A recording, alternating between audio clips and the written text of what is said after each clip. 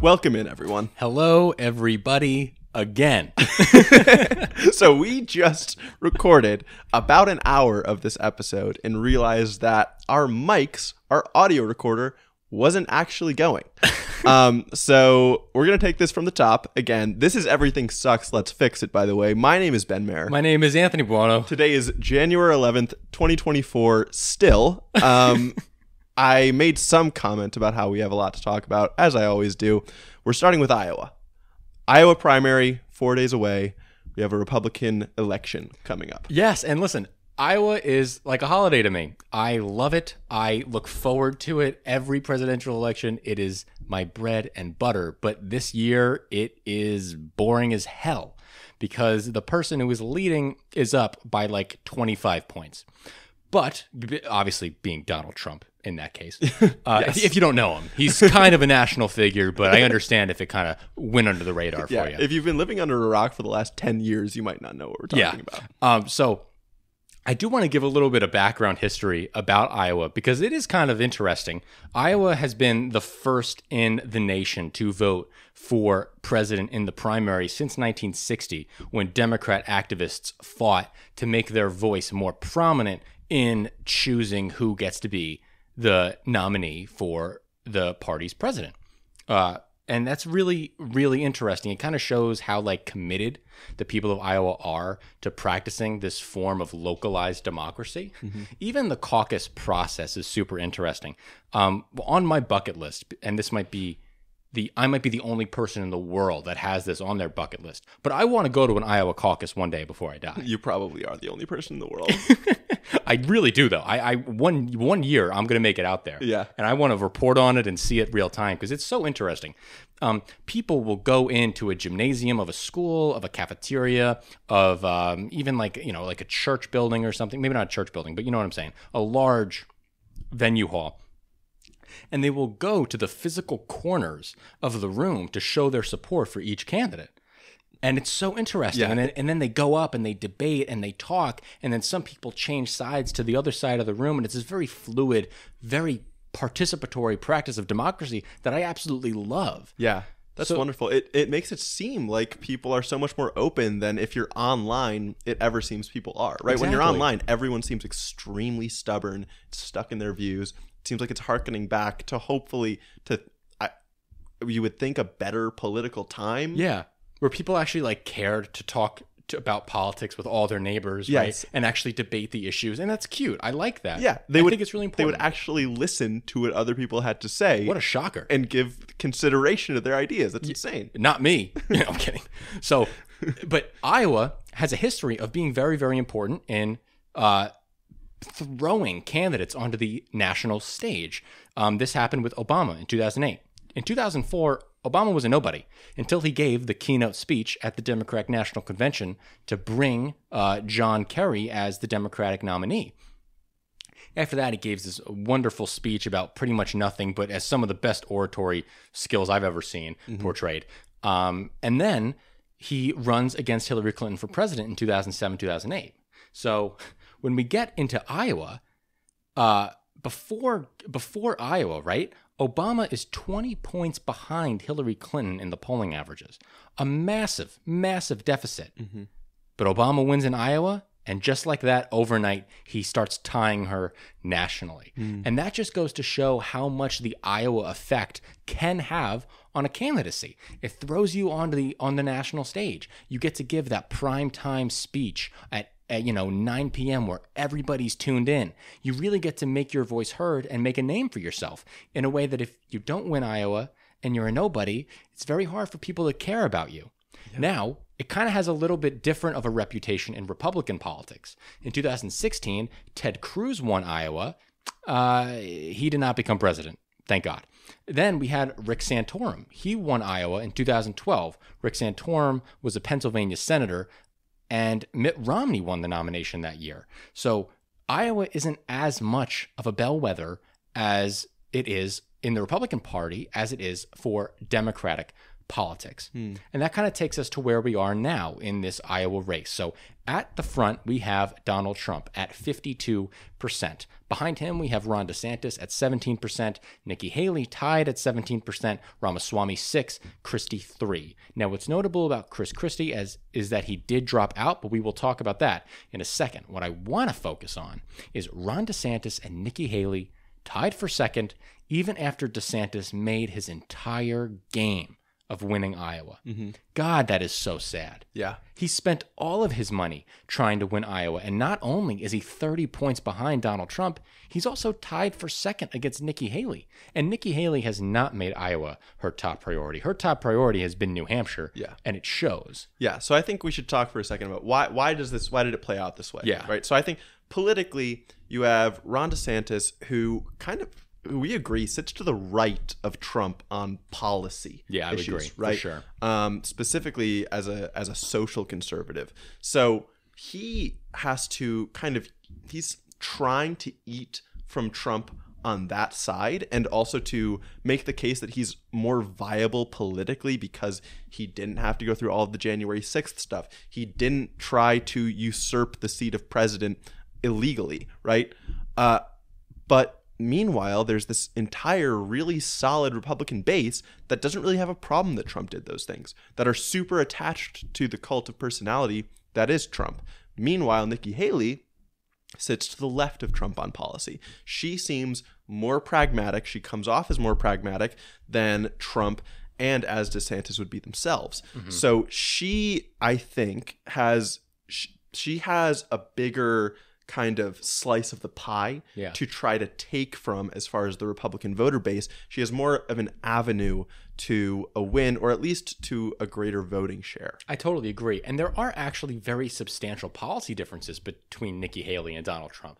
Donald Trump says immigrants are poisoning the blood of our country. Nikki Haley says we need to let more immigrants in, they just need to come legally. Mm-hmm. Donald Trump says we need to leave NATO and we got to stop sending support for Ukraine. Nikki Haley says we need to arm Ukraine with as much weapons as we can so that Putin does not win. Mm-hmm. There are massive substantial policy differences. There's also some where Donald Trump says he doesn't want to raise the age of retirement for Social Security. Nikki Haley does want to raise the age of retirement for Social Security up to 70. Yes. So there are actually disagreements there, but when we get to DeSantis Trump, it's actually way harder to kind of pick those out. Yeah. It becomes very difficult. It's almost like Ron DeSantis is taking Trump's dial and just turning it a bit to the right. Exactly. DeSantis is more extreme on abortion. DeSantis is more extreme on r- the government's role in education and restricting speech on certain things like critical race theory. Um, but for a lot of things, like as far as immigration, they're basically aligned. Right. Right.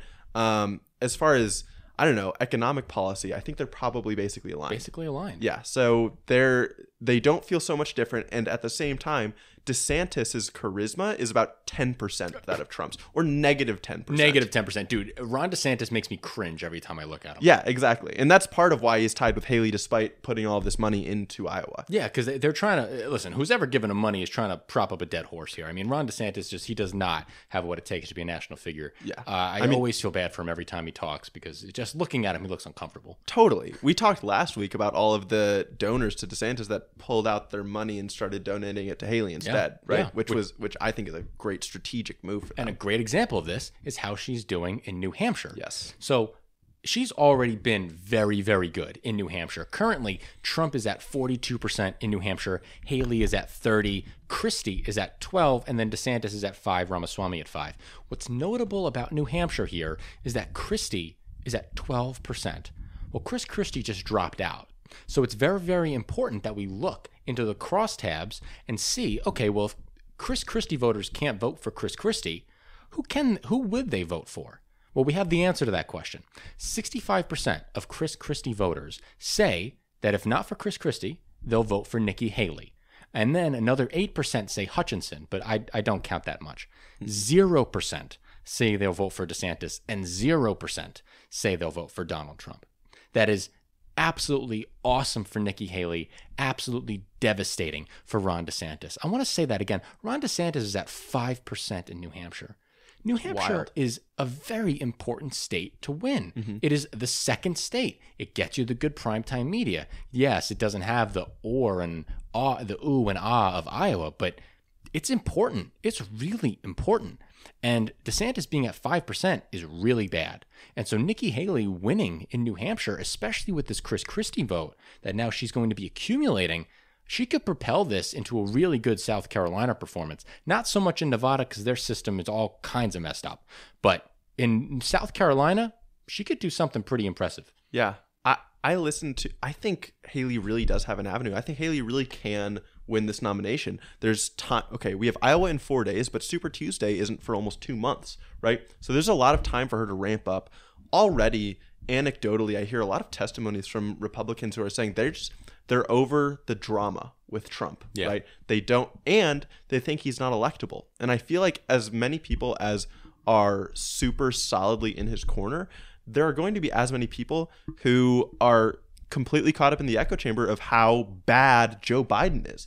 And they're thinking about electability. And Nikki Haley so clearly comes off as the electable candidate here. And I'm scared of Nikki Haley. As as a person who votes for the Democratic Party, I am worried about Nikki Haley as the future of the, de- of the Republican Party because I think she's a very, very effective politician. Yes. I think she has a very good way of speaking. I think she's a very good way of making her arguments. I don't agree with them, but I do think she communicates them well. And I think that honestly, she is way more reasonable, to, way more reasonable, and that's appealing to a lot of people. yes. She has reason. Yes. That's the thing. Even if they're bad reasons, they are reasons that could be plausibly believed by mm-hmm. people. Exactly. That's exactly right. Um, and even if Nikki Haley doesn't get the nomination, she is setting herself up to be a very, very prominent national figure. I can definitely see four years from now, if Donald Trump becomes the nominee and then and then they lose the presidency because of that, they're going to look back and think, "Wow, why didn't we give Haley a look? Why didn't we give Haley a shot?" And then maybe prop her up four years from now too. I don't Yeah. think her career ends if she loses to Trump this time around. Definitely not. I mean, I think Haley runs again in 28. I think Ramaswamy definitely runs again in 28. If Trump loses this time, the the party no longer could possibly back him. So, right? I mean, he might run, That would be hilarious. but like they're they're going to look more and more every time he runs again after losing, they're going to look more incompetent for trying to prop him up. So, I- I mean, can you think of a Republican right now who seems more viable, right? No. No. So- I, I can't. No. But I will say presidential nominees do come out of the woodwork sometimes. True. I mean, Obama's a good example of that, right? I mean, even Haley feels like she came out of the wood- woodwork this time. I mean, listen, when Haley announced her uh, her uh, her run, I was laughing my ass off. Mm. I watched her I watched her opening campaign speech and I was like, no one's going to bite on this. I was wrong. Well, interestingly, did you hear the recording of the hot mic? Yeah, I did. Okay, so after Christie dropped out, there was uh, some audio that came out, and I wonder how planned this was. You think so? But why? But okay, so so basically on the hot mic, they uh, it caught Christie saying Haley doesn't have a shot; she's gonna get smoked. Um, and he was about to say something at DeSantis, but then it got cut off. Why wouldn't he want to prop up Haley? So he actually said this directly. He talked about this directly. He specifically, or, or indirectly, actually, because Haley hasn't ruled out being Trump's vice president. He said that he would look like a fool if he endorsed somebody and then they became Trump's vice president. Well, you know who has ruled out being Trump's vice president? Who? Vivek. Oh man, maybe Christie's gonna uh, endorse Vivek. oh my god, the chatbot, G- Chat GPT. yeah. That's what he called him. Oh, I, God, the I mean, the only person that that Christie could trust would not be Trump's vice president, who's going who's Is going to be running. No, is Biden. oh, is Biden? Well, actually, I've heard reports that Christie might endorse Biden. Wow. I've heard reports of it. That's uh, but if that happens, then his endorsement is useless because I don't think they're. I mean, they just won't vote, which maybe is useful. maybe that is useful. Yeah. Um, yeah, it's just crazy. But now I, let's get more into Trump's criminal proceedings here. and God, this was Exciting. just this was just something else, man. Yeah. So Donald Trump, he is on trial. He is being criminally in, indicted for uh, 91 felonies or something. Ninety-one counts. Yep. 91 counts. Um, one of them that they are fighting right now in the U.S. appeals court is Jack Smith's January 6th case. And this is specifically regarding the fake elector scandal, where Donald Trump forged documents and committed this grand conspiracy to try to defraud the people of the United States and their right to vote. So, um, the are they are going to this appeals court and claiming that the president has immunity for all official acts that are committed during his time in office while he is president. But there are some asterisks to that. So let's go through there. Trump's lawyers claim that all official acts are protected and cannot be criminally prosecuted against by the judicial system. Um, if and only if the, the, the judicial system can only prosecute the president if he has been impeached by the House and convicted in a Senate hearing. And since he was not convicted in the Senate uh, for his second impeachment regarding January 6th, his, his attorneys are saying Trump's immune. This story's over. It's done. Guy got away with it. It's over.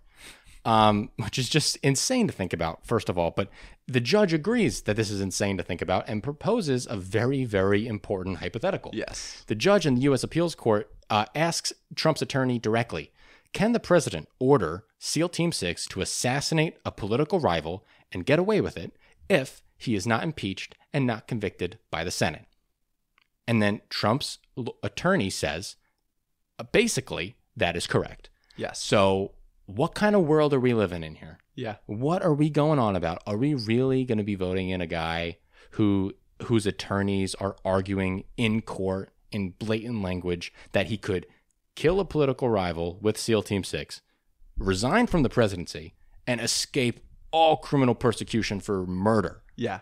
It's absolutely insane when you think about the dedication of our system to freedom of speech and expression, right? It, like to have that loophole would be would completely corrupt it. Mm-hmm. Um yeah, I do when I hear this, I just think god, that is a brilliant proposed question by the judge. I know. think, like I would I love calling people out with like logical fallacy questions like that. Man, I would love to be in that position. Oh, dude, I I know. God, her, she must have felt so fucking good after Yeah. that, dude. Yeah. Oh, God. So Trump's lawyer makes two main arguments, and he cites two different things about why Trump has this immunity to criminal prosecution. He cites James Madison's Federalist Paper 47, and he cites Marbury versus Madison, pages 164 to 166. Like the absolute fucking loser nerd I am, I read through both and I kind of made my own little arguments around them. So in Federalist Paper 47, James Madison is talking about the separation of powers. He's going through, okay, how are powers separated in New Jersey? How are they separated in Virginia? How are they separated in New Hampshire? And he's kind of going through the state constitutions and he's trying to figure out, okay, what's the right thing to do nationally? How should we handle that? Well, Trump's attorney makes the claim that Federalist Paper 47 says that the criminal that James Madison was worried that the criminal process would be abused for political purposes to disable the presidency. Well, nowhere in Federalist Paper 47 does they even do does he even mention the criminal process. Doesn't even touch it. All it talks about is okay, how does the legislature interact with the executive branch? How does the Supreme Court interact with the legislature? That he's talking about this cyclical relationship between all the branches of government never does he mention criminal proceedings at all. Hmm. So I don't know where he's getting that from. There are some interpretations that you could make saying that because the judge has this relationship with the legislature and executive, and this is where James Madison is defining it, and criminal stuff isn't talked about there. But that's just ridiculous. yeah. Yeah, that's just It's totally such a leap. It's such a leap. Yeah. But it's all he's got. So then we have Marbury versus Madison, pages 164, 166. And here, um, J- Ju- Chief Justice John Marshall says that the president's actions are, in fact, reviewable by courts if they impact individual rights of the citizenry or it is the president performing the acts of the law that of the law of what the law demands. But he says, uh, Chief Justice does say that the all political and discretionary acts taken by the president are not examinable by the courts.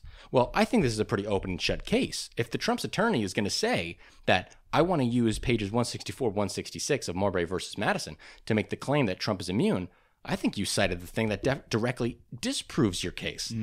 that Trump's actions on January 6th, on and around January 6th, were specifically attacking the individual rights of the people of the United States. And that's what Jack Smith is indicting him on. He is saying that the civil voting rights of the people of America are being defrauded by the president's actions, specifically attacking the individual rights of the American people. So, by Ch- Chief Justice Ro- uh, Justice Marshall's own opinion here, the actions are absolutely reviewable by the courts. So, I think all the Trump's attorneys' uh, arguments fell flat on his face. Um, the judge pushed even harder to try to make him see that his logic was extremely uh, at fault, and he really didn't have a lot of cohes- cohesivity in his. Uh, is that a word? Cohesion. Cohesion. Thank you. Listen, we already recorded this section. Okay, cut me a fucking break.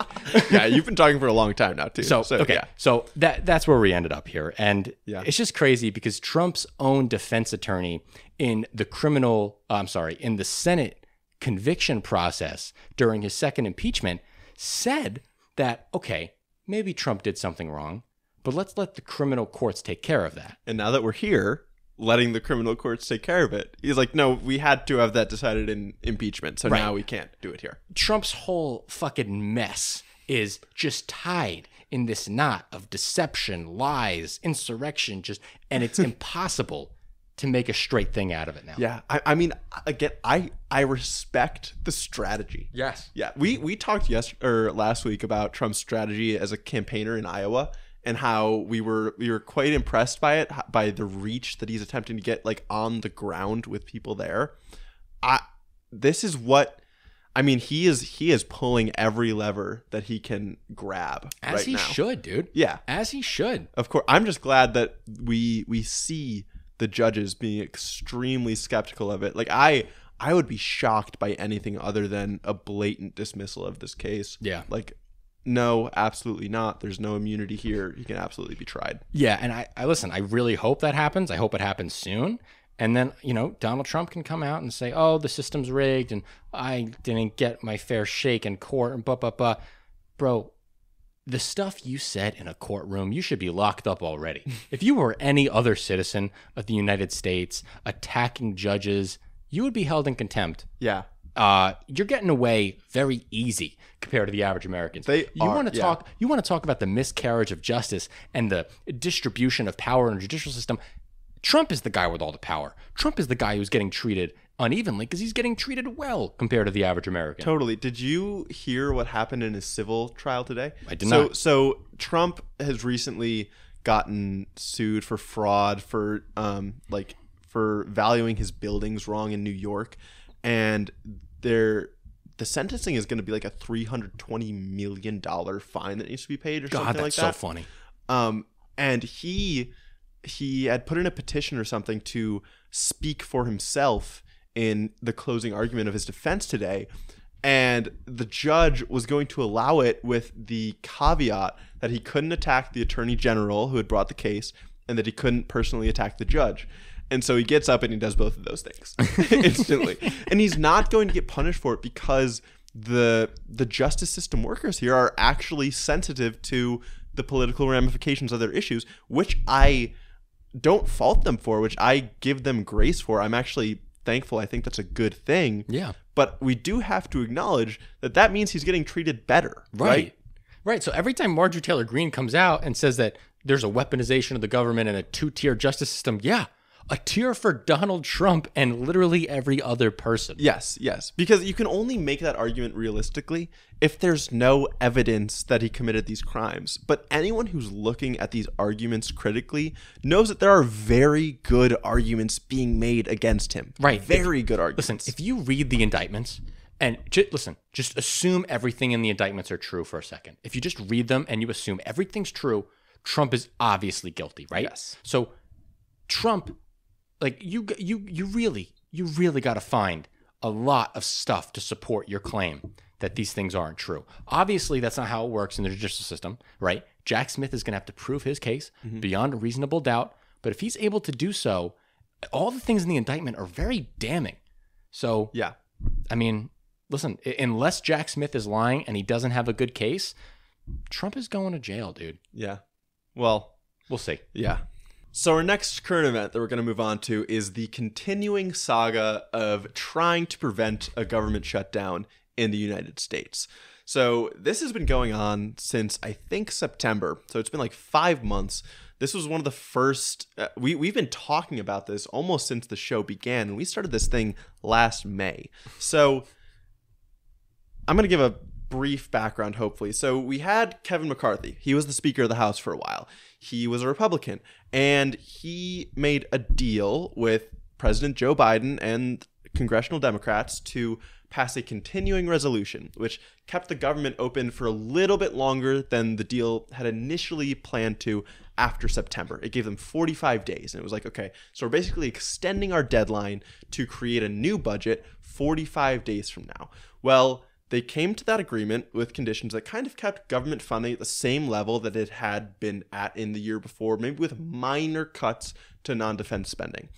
So this this this passed, but it passed with Democrat support because hard right Republicans in the House Freedom Caucus hated this deal. They thought that the cuts in spending were far too little. They were outraged that Kevin McCarthy passed them, and it ended up leading to him being ousted as the speaker. First time in the nation's history. Yes, so extremely unprecedented. Matt Gaetz, who isn't is he technically a member of the Freedom Caucus? Do you know? I actually don't know. I imagine I don't know either. His politics are populist right. You get it. Um, he raised the motion to vacate. They kicked him out as speaker. And after an extremely tumultuous process of nominating multiple other speakers, uh, the and voting for, trying to vote them in, failing to vote them in, the Republicans end up voting in this guy Mike Johnson. Mike Johnson never had a leadership role in Congress before. Uh, so he was completely thrown into this, although his politics were super far right. So the people like Matt Gaetz, who had kicked Kevin McCarthy out, they were happy with Mike Johnson. So the thing that happened, Mike Johnson comes in, the 45 day continuing resolution that Kevin McCarthy passed starts to run out, and Mike Johnson needs to pass something else to keep the government open. And so he does pass something else. It's a 70 day, 75 day 75 day. continuing resolution that again pretty much keeps the government funding at standard levels. He's saying, look, we just need more time to negotiate a deal with the Democrats that is more favorable to us. And so already the far right is mad. The House Freedom Caucus is mad. They're like, we kicked out McCarthy and we're just getting kind of the same thing here. What's the deal? So they're mad, but they're like, okay, he just got here. Let's give him a chance. So those 75 days are about to run out. That continuing resolution was split into two parts. One expires January 19th and the other expires February 2nd. So once we hit January 19th, the government is going to enter a partial shutdown. Yes. Um, but then, a few days ago, we get news that Mike Johnson has come to an agreement with Senate Democrats and Joe Biden to for a deal to fund the government. And we're thinking, okay, so we need to see how is this deal going to look compared to the last ones that um, the far right has hated, that got Kevin McCarthy ousted. It looks exactly the same. Literally exactly the same. Exactly the same. Small, small adjustments. Yes. So the top line figure is $1.6 trillion for fiscal year 2024. That includes 886 billion for defense and 704 billion for non-defense. That number is a little bit up in the air. Yeah. Johnson is out saying 704 billion non-defense. Chuck Schumer is saying nope, that's 700 and what'd you say 70 772 but these are technicalities they Yeah. came to a deal with barely any cuts in spending from the last year Exactly. Johnson is celebrating the $16 billion of cuts that he was able to get out. These are mainly coming from the IRS. Um, he's taking money back from the IRS that was given to the IRS in the Inflation Reduction Act. We are big proponents of giving the IRS more money so that they have the power to go after millionaire tax cheats. We did a whole episode about tax evasion and the history of defunding the IRS and its consequences. You should go check that out. But Mike Johnson also got a lot of money, COVID money, back and pulled that back from the executive branch. So Mike Johnson came out of that room with Chuck Schumer. He's going on a victory lap. He's proud of himself. He's like, oh my God, I did this. Chuck Schumer's even saying, like, listen, say what you want about the guy. He's not a bad dude. Yeah. Chuck Schumer's like, that's a good guy. But here's the deal there is nothing worse in the Republican Party than to be called a good guy by New York Democrat Chuck Schumer. Yeah. So naturally, Mike Johnson comes out of this thinking he's got a deal. He did it. He's the guy who got it done. Well, Republicans are rebelling against him naturally. Marjorie Taylor Greene comes out right away and she says, "I am a no" in all capital letters to Johnson to the, to the Johnson Schumer budget deal. This 1.6 trillion dollar budget agreement does nothing to secure the border, stop the invasion, or stop the weaponized government targeting Biden's political enemies and innocent Americans. I really want quickly want to point out that language of I am a no to the Johnson Schumer budget deal. It's very reminiscent Hmm. of a remark that Matt Gaetz made right before Kevin McCarthy got ousted that the McCarthy Jeffries Biden government That's exactly right. was ruining America or something like that. Right, Right. he looped McCarthy in with the Democrats entirely, and she's doing exactly the same thing with the Johnson Schumer line. She's othering him completely to Yes. try to boost herself up. And I just imagine that everyone else on the far right is about to follow suit. Oh, exactly. And listen, I want to bring it attention to one thing Marjorie Taylor Greene said here. Does nothing to secure the border. Well, are you forgetting that Joe Biden has put forth a $14 billion budget deal uh, specifically for border funding that will go to a lot of a lot of things that we will talk about in a second. So if you really do care about the border, wouldn't you support a lot of this initiative? It's actually a bipartisan thing coming from Senate Republicans and Senate Democrats and the White House. So if you really cared about the border, you'd be on that and you'd be talking about that. But it seems like you just want to cause a ruckus and yell into the wind. Yes. But that's a whole other conversation that we'll get to in a 2nd In addition to Marjorie Taylor Greene, we also have Chip Roy. Chip Roy is a prominent House Freedom Caucus member, and he has not called out, uh, he has not ruled out calling for a motion to vacate. Chip Roy, th- he is, he has not ruled out ousting Mike Johnson. And so like here we are. Like you just said, Kevin McCarthy was the first Speaker of the House to ever be ousted. Okay, that was three months ago. That was three months ago, and now we're talking about running it back. Running it, back, it back. doing the same thing over and over again. We're in fucking Groundhog Day with these people. it's insane. And Republicans have to recognize, and a lot of them do, that they only have a two seat majority. George Santos got expelled. Kevin McCarthy retired. Steve Scalise is out getting treated for cancer. Uh, guys, you don't have a choice. You have a small majority. Yeah. This means you have to compromise. It's what you have to do.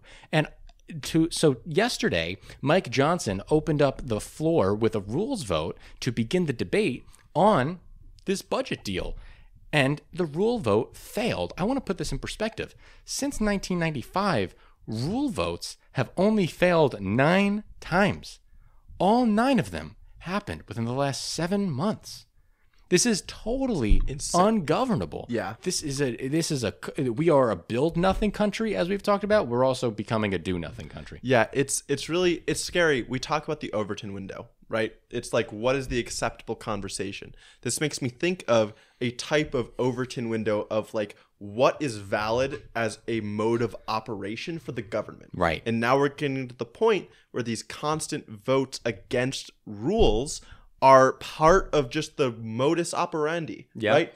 And that's not good. This we do not exist in a global context to be able to be this ineffective at governing. Yes. And yet our polarization is creating exactly that. Well, Joe Biden and a lot of Democrats always kind of talk about this notion of democracy versus authoritarianism and the competition that these two systems of government are in internationally.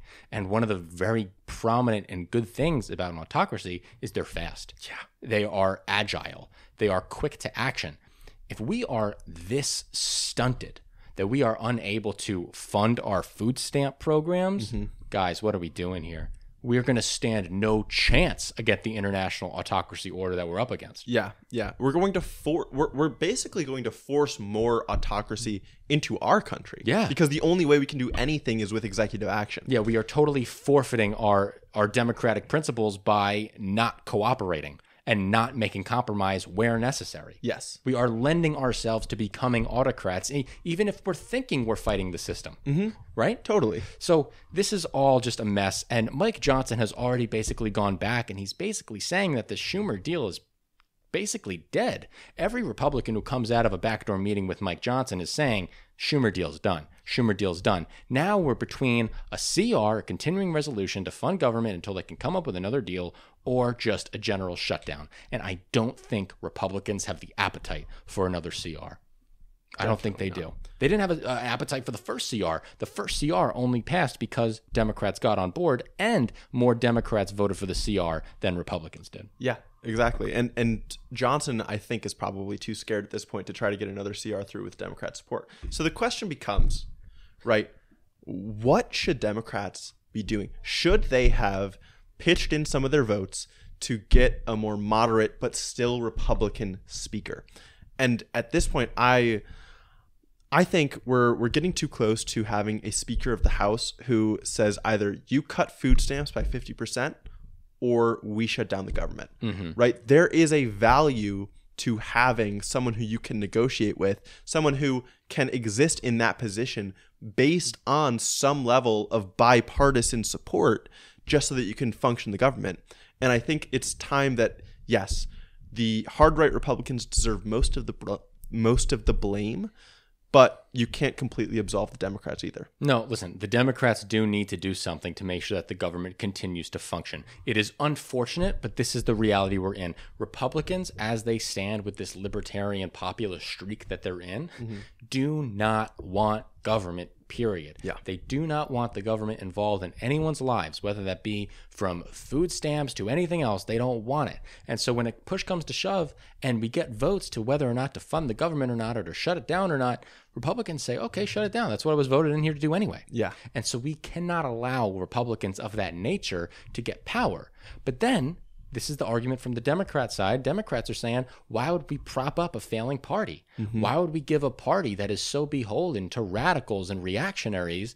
Why would we give them any legitimacy by making them our leader? If if if if Republicans are really concerned about governing, even if any Republicans are concerned about governing, we're down to two, right? Mm-hmm. Two seat majority. Shouldn't they just join on to the Democrats and vote for Hakeem Jeffries, or even join with Democrats and vote for a more moderate Democrat? So do you think it's more like it's an easier story to tell that the Democrat pitched in to vote for a moderate Republican, or is it an easier story to tell for that for those three Republican representatives that decide I'll vote for Hakeem Jeffries? What do you mean easier story to tell? From whose perspective? What Easier to pitch to my constituents, as who? The moderate Republican? or the moderate Demo, or the the Democrats who prop up the Republicans, hmm. right? Which which side is more viable? Because. I I, think because the Republicans are already in the majority, it's more viable for some kind of moderate Democrat to say why they wanted to prop up the moderate Republican in order to keep government functioning. Well, I would say that, but a lot of these moderate Republicans are in districts where Joe Biden won not three years ago.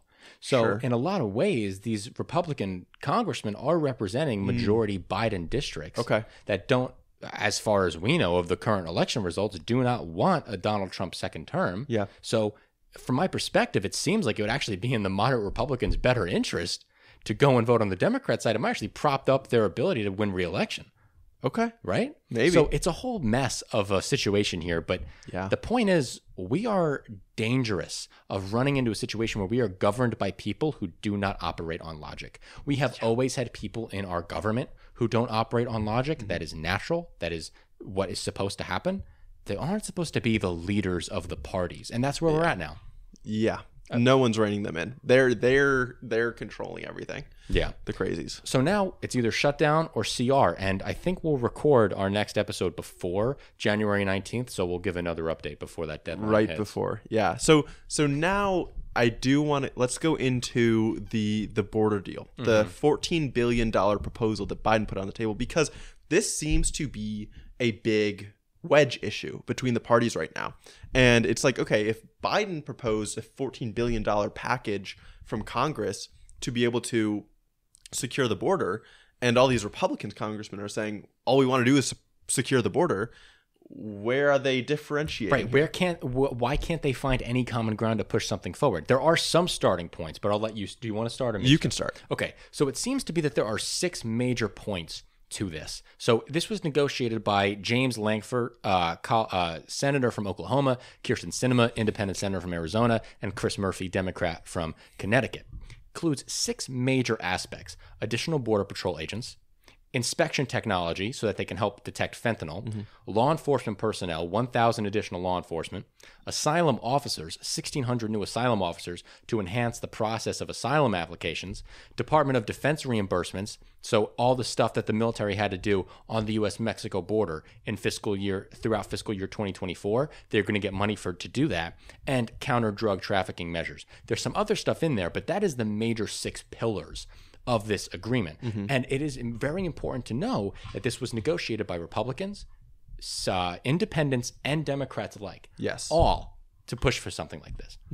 Um, it specifically is going to tighten asylum laws. Uh, and this is something that Republicans should be able to get behind. It's going to allow border agents to swiftly expel migrants when a certain level in illegal crossings is reached. So it's capping the number of illegal crossings that we're allowing. Right now, the process of asylum is so messed up. If someone crosses the border illegally and then claims asylum in the United States, the United States is not currently, by law, allowed to then deport them.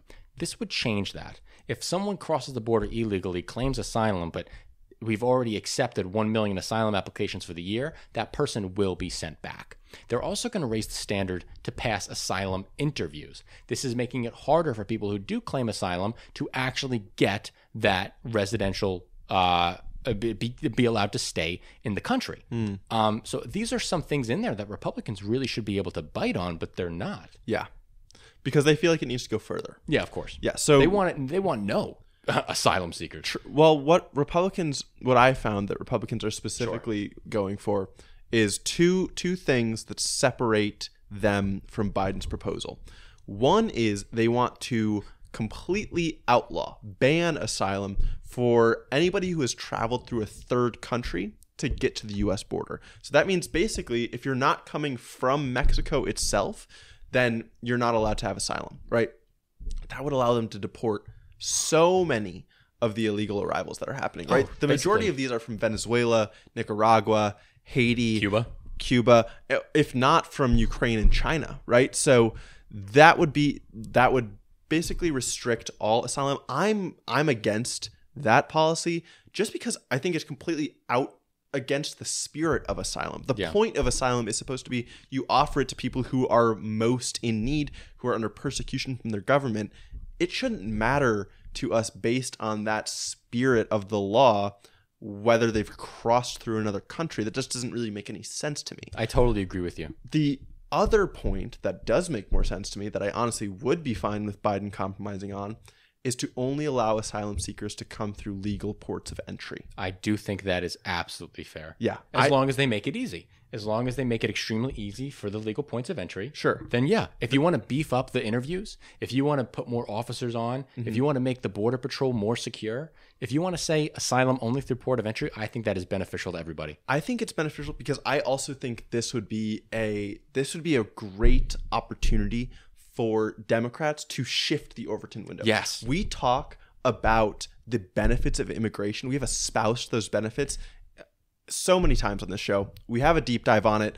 I would One of our highly best. encourage you to go watch. Yeah, their immigration as a whole is really great for countries not only their economy but I would say the culture, right? To have more integration, it makes people more tolerant over time. I think it's a great thing. And if we can get to a point where we appease Republicans on this, right? Where where we're saying, look, we are trying to do something on the border. We do want security there. We want to be able to know and control who comes through. Once we have that, we can start shifting to, okay, let's let more people in because it's a good thing. Exactly. And then there's another part to this where Democrats are really fighting to allow certain migrants um, get work permits expedited so that right after they have their preliminary asylum interviews, they're allowed to start going to work. Yes. And this is exactly what we want to see. Mm-hmm. We don't want to have migrants in this country that are forced to live off local government's dimes. We don't want that. Local communities across the country, Democrat, Republican, nobody wants that. But we all and we also know that if you're poll, if you poll the American people, they want to increase border funding and secure the border and they don't want to deport any illegal immigrant who currently has a job. And they want to let more legal immigrants in. So let's give them that. Exactly. Let's give them that. Let's give all of the business owners who are lacking on labor in in industries like construction, Construction. and agriculture. Let's let them have more of a workforce that they can draw from, right? Mm-hmm. Because those those industries are disproportionately filled by immigrant workers a lot of the time. It this is going to these can this can fix so many problems at the same time as long as we realize that immigration when done correctly is a great extremely helpful thing for the country. Now, a couple weeks ago, we talked about a problem that Canada was having with its immigrants, and that its housing shortage was being exacerbated because of all the immigrants it is encouraged to come in. And so, what we've also talked about the show on the show, um, which is a huge general progressive liberal talking point, is the need for more housing. Absolutely. Right. And so there are several measures that we can take to get us there. We the first deep dive we ever did was on zoning reform. Encourage you guys to check that out. Um, there's a ton of information on the local regulations and requirements that we can loosen up to allow for more housing production. If we get these things to happen at the same time, it's going to be a massive boost for our economy that lifts everyone up. Yeah, and you have to remember construction companies are clamoring for more immigrants because those are the people who are most likely to work in the construction field and there is a labor shortage. You want to build more housing, guess what? You need to increase your amount of immigrants into the United States. Totally. So, this is a really great bipartisan compromise that I am prepared to make as a liberal with Republicans. I will say that you cannot cross the border if you're an asylum seeker illegally if they are allowed to come in through the ports of entry. I am okay with that. Mm-hmm. Another thing Republicans are fighting to get rid of that the Biden administration initially was a hard no on, but is now coming around, is Republicans are fighting to include a cap on the number of people who could be let into the country via parole. Now, parole is the legal terminology that allows the White House to resettle migrants throughout the country, allows them to get them into New York, Michigan, Chicago, Los Angeles, wherever. The White House, again, uh, previously was opposed to this, but is now coming around, and I agree with this. I think if we can make a a, a good asylum process of people coming through the ports of entry with good amount of officers, with an expedited uh, and with with with with a different um, interview process that people can get jobs right away. This is the way to do it. Okay. I see. I would I would prefer to pr- for parole to stay, but I'm not married to it. Exactly. Like I'm okay with getting rid of it for now if it means that we can make progress on this issue and that people can start to think that the the border crisis isn't so much of a crisis. Right. Right. Right. So- we need we need to show that we are doing something about the border crisis, whether you're Republican, Democrat. There is something going on down there. You don't have to be in denial. We have a lot of border crossings. We need to figure out a better way to handle it. This is the better way to handle it. And so why aren't Republicans on board? Well, Senate Republicans are. Mitch McConnell comes out and he's like, I want this. We need to do this. Mm-hmm. This is the way to go. Well, House Republicans are not on board. And here is why. This is Representative Troy Nehls, who is a Texas Republican on the border, a border state who's supposed to care so much about border security. This is his quote Let me tell you, I'm not willing to do a damn thing right now that will help a Democrat and help Joe Biden's approval rating. I will not help the Democrats Democrats try try to improve this man's dismal approval ratings. I'm not going to do it. Why would I? What a nightmare of a fucking country we live in. And I'm going to caveat because that is one anecdote, that is one representative. But that's exactly why I would expect that Republicans across the board are opposed to Biden's proposal. For context, Biden proposed this, I think it was October 25th. Yes. That means it's been about two and a half months that his proposal has been on the table for Congress, and they have actively not taken it up. Okay, so that means that there, there, there has to be some reason, right? And they can say not enough, but is not enough at all a good reason to do nothing? That's that's is that is the best sentence you've ever said on this fucking show. is not enough a good reason to do nothing. No, it's not a good not. enough Of reason. This not. is something. It benefits the liberals on some avenues, it benefits Republicans on others. This limits illegal immigration while increasing legal immigration. That's what we want. Yes. And Republicans aren't giving it to you, the American people, the American people who want it. Republicans are denying that to you for political partisan gain on their behalf. Yep. And you should be furious from that, like I am.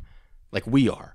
Crazy. It's absurd. Absurd. Yeah. So the war in Ukraine is raging on. Um, Western and NATO support has been not as good as Ukraine has hoped. And one of the specific reasons, even cited by the Biden administration, is concerns over how money that we're giving to Ukraine is getting spent locally. Is there corruption? How much of there is it? And is Ukraine doing enough to stop it? Well, there has been an internal audit of the defense ministry, and they have found financial violations over the last four months worth $260 million.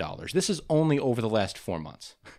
And there's $260 million worth of financial violations. That's brutal. Now, the defense minister has vowed that the authorities will respond harshly to all cases. He vows to arrest all the people involved, and he says that arrests will become much more common and widely reported on. He wants to make it specifically clear to the West, to the EU, to NATO, that they are not taking this lightly, that they take corruption seriously, and that they're going to take it head on. Now, this is coming against a defense minister who was uh, Oleksiy Rezi- Re- Reznikov. Alexei. Alexei Alexei Reznikov. Ale- Alexei Reznikov, he was not good at dealing with corruption. He was involved in multiple scandals where people were inflating prices for food suppliers. He was buying low quality military jackets for troops fighting Russia. So Zelensky fired his ass and appointed uh, Umerov, the new defense minister. And this Umerov guy means business.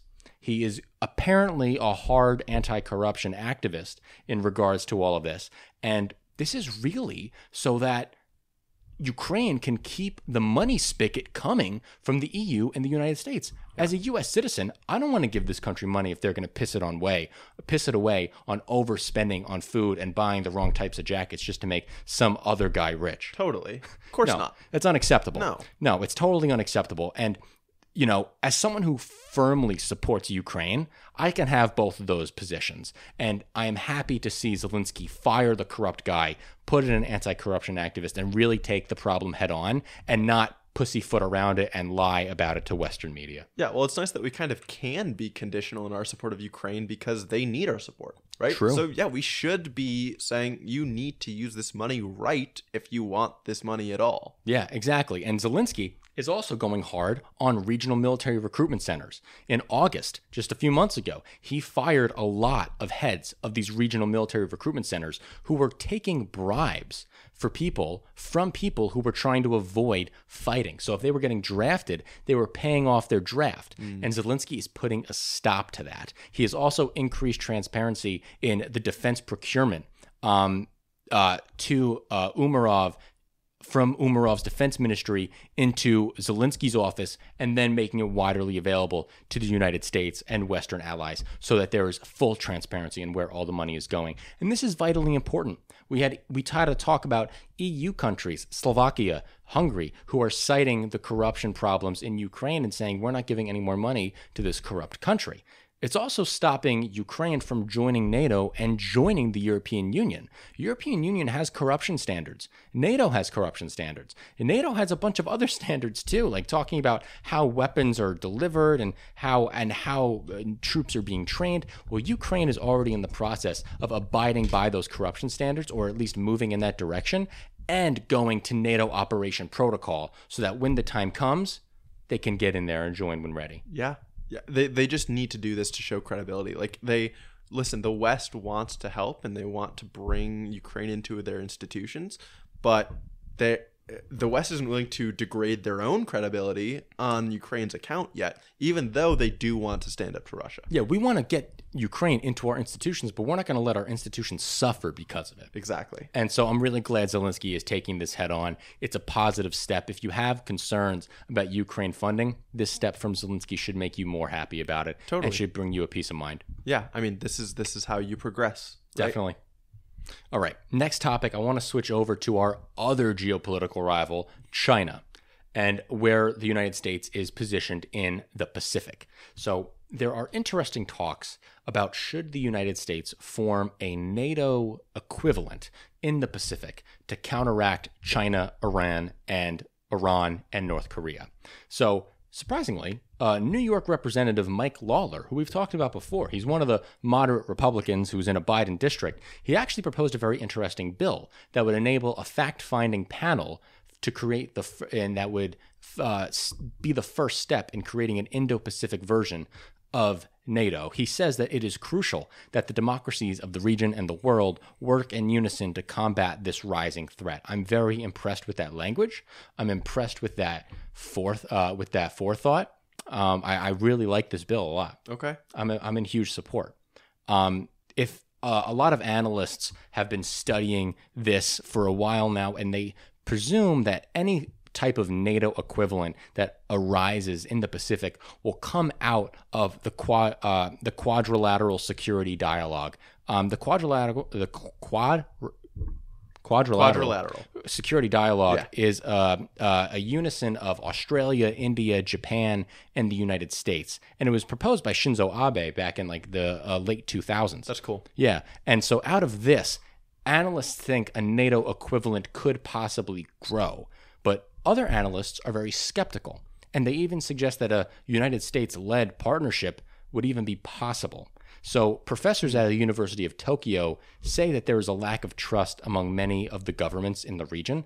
I think a good example would be actually Vietnam and the Philippines. We talk a lot about uh, China pushing into the South China Sea and China pushing for controlling islands that are technically the Philippines and islands that are technically the Vietnamese. Well, the Philippines and the Vietnamese have conflicting relationships with those islands as well. Yes. And they also have their own national interests of the Vietnamese wanting some Philippine islands and the Philippine islands wanting some of the Vietnamese, Vietnamese islands. So it's very difficult to thread that needle.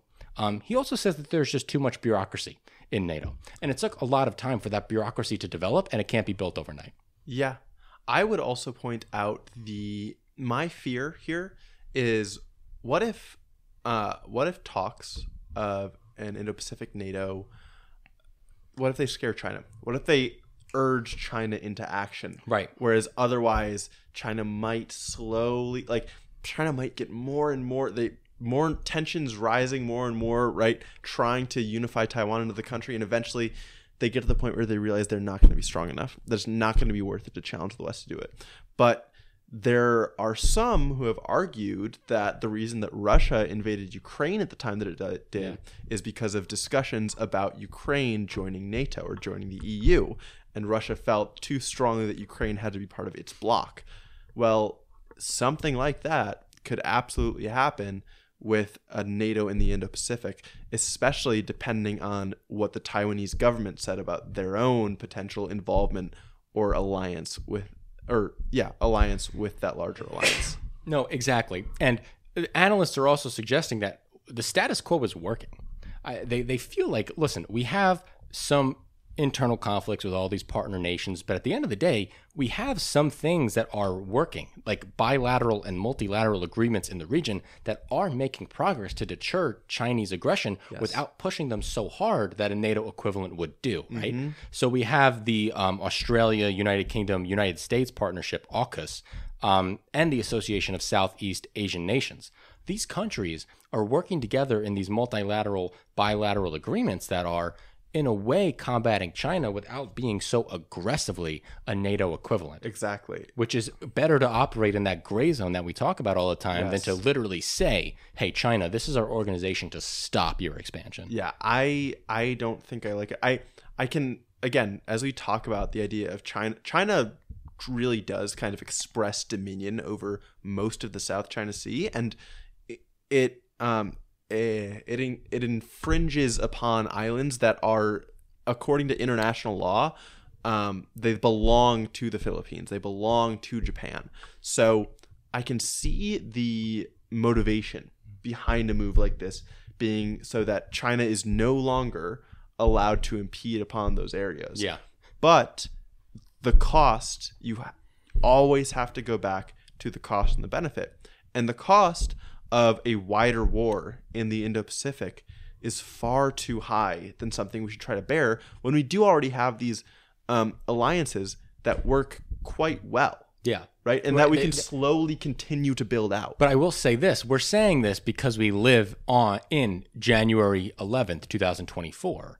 We don't know what comes next. True. So, like, we say it's working well now, but how well does this work for? Could a NATO equivalent automatically say, look, we're a block, we're defended, we are in lockstep with one another, trying to back off? Would that work better for the future? I don't know. But Yeah. um, one of the bilateral agreements, uh, multilateral agreements that I think is really, really beneficial is an agreement that Japan has recently signed with Malaysia and the Philippines, where Japan now has authority to patrol the South China Sea in between Malaysia and the Philippines um, and really push back against Beijing and their expansionist policies in the region. Yeah, that's Right. really good because our like the U.S. Navy is the body that has been doing the most as far as trying to secure the international freedom of navigation in the South China Sea, um, with which China obviously contests. And as our navy is spread thinner and kind of declines as far as as its abil- as its total numbers and its ability to project itself around the world in mass, especially compared to China's navy, which now is technically bigger than ours, though still technologically behind ours. Bringing our allies in to do a little bit more of that work, as far as just having more boats in the water to establish presence, is a big deal and very helpful. Definitely. And there's also a whole nother angle to this, which really puts a re- big wrench in the plan of trying to build a NATO equivalent. A lot of these countries don't want that. A lot of these countries are very, very happy trying to balance the two giants on the world stage and really operate as this middleman and are actually excited by the prospect of a multipolar world. Vietnam is an example of this. Mm-hmm. We have great relationships with Vietnam, but Vietnam also recently hosted Xi in their country, and they've also had very productive talks. So Vietnam is one of those countries that's trying to balance these two powers out, trying to keep them both happy. They don't want to pick a side. Yeah, the power of competition, right? Right. The fruits of competition. Yeah. the U.S. and China are both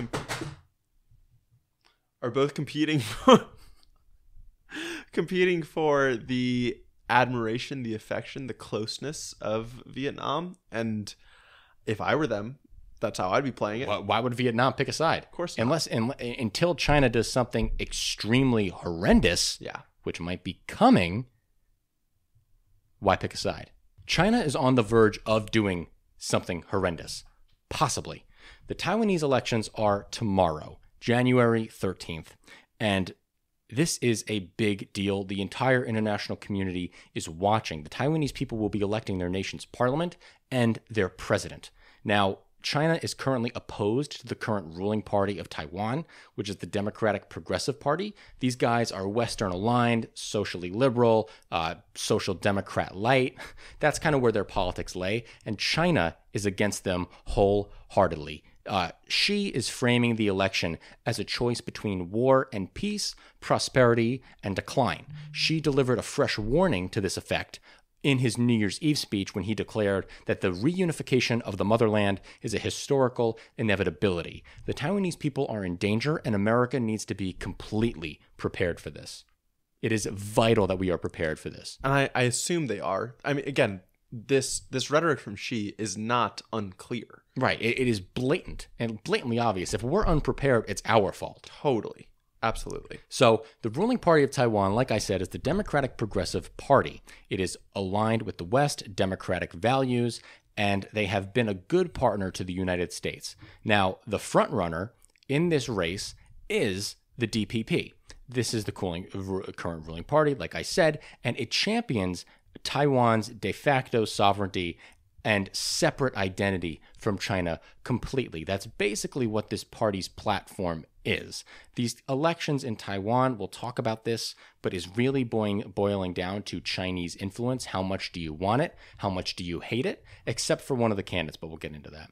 Um, the current party's front runner, Lai Ching Te, he originally advocated for a hard line push for independence, a hardline push, specifically saying he wants to break up what's going on. He wants to totally get out of the Chinese one China ambiguity and declare his independence. But uh, he has since moderated this position, actually from because of signs from Washington. Washington basically alluded that this was way too intense Yeah. of rhetoric, and they don't want to poke the bear that is China right now. Exactly. They need to stay in a gray area. And I think that Xi's rhetoric might be just coercion tactics to try to prevent voting for a candidate that's too anti-China. But again, this is all dynamic, right? So the more that this Taiwanese president goes against China, the more that they threaten separation from China, the more likely it is that Xi actually does make a military move and everything goes to hell. Exactly. Um, and he, uh, this guy Lai has said that. Uh, sorry, so Beijing is totally against the DPP and have called the leading candidate a war maker and a destroyer of cross-strait peace. I like what you said. I think you're right. They are trying specifically to convince the people of Taiwan to vote against the, TP, the DPP for the purposes of keeping peace between China and Taiwan. Mm-hmm. They're trying to scare the Taiwanese people into voting against their interests here. Totally. So now, in opposition, we have the the KMT. This is uh, the old ruling party of the Republic of China that, that goes back hundred years ago.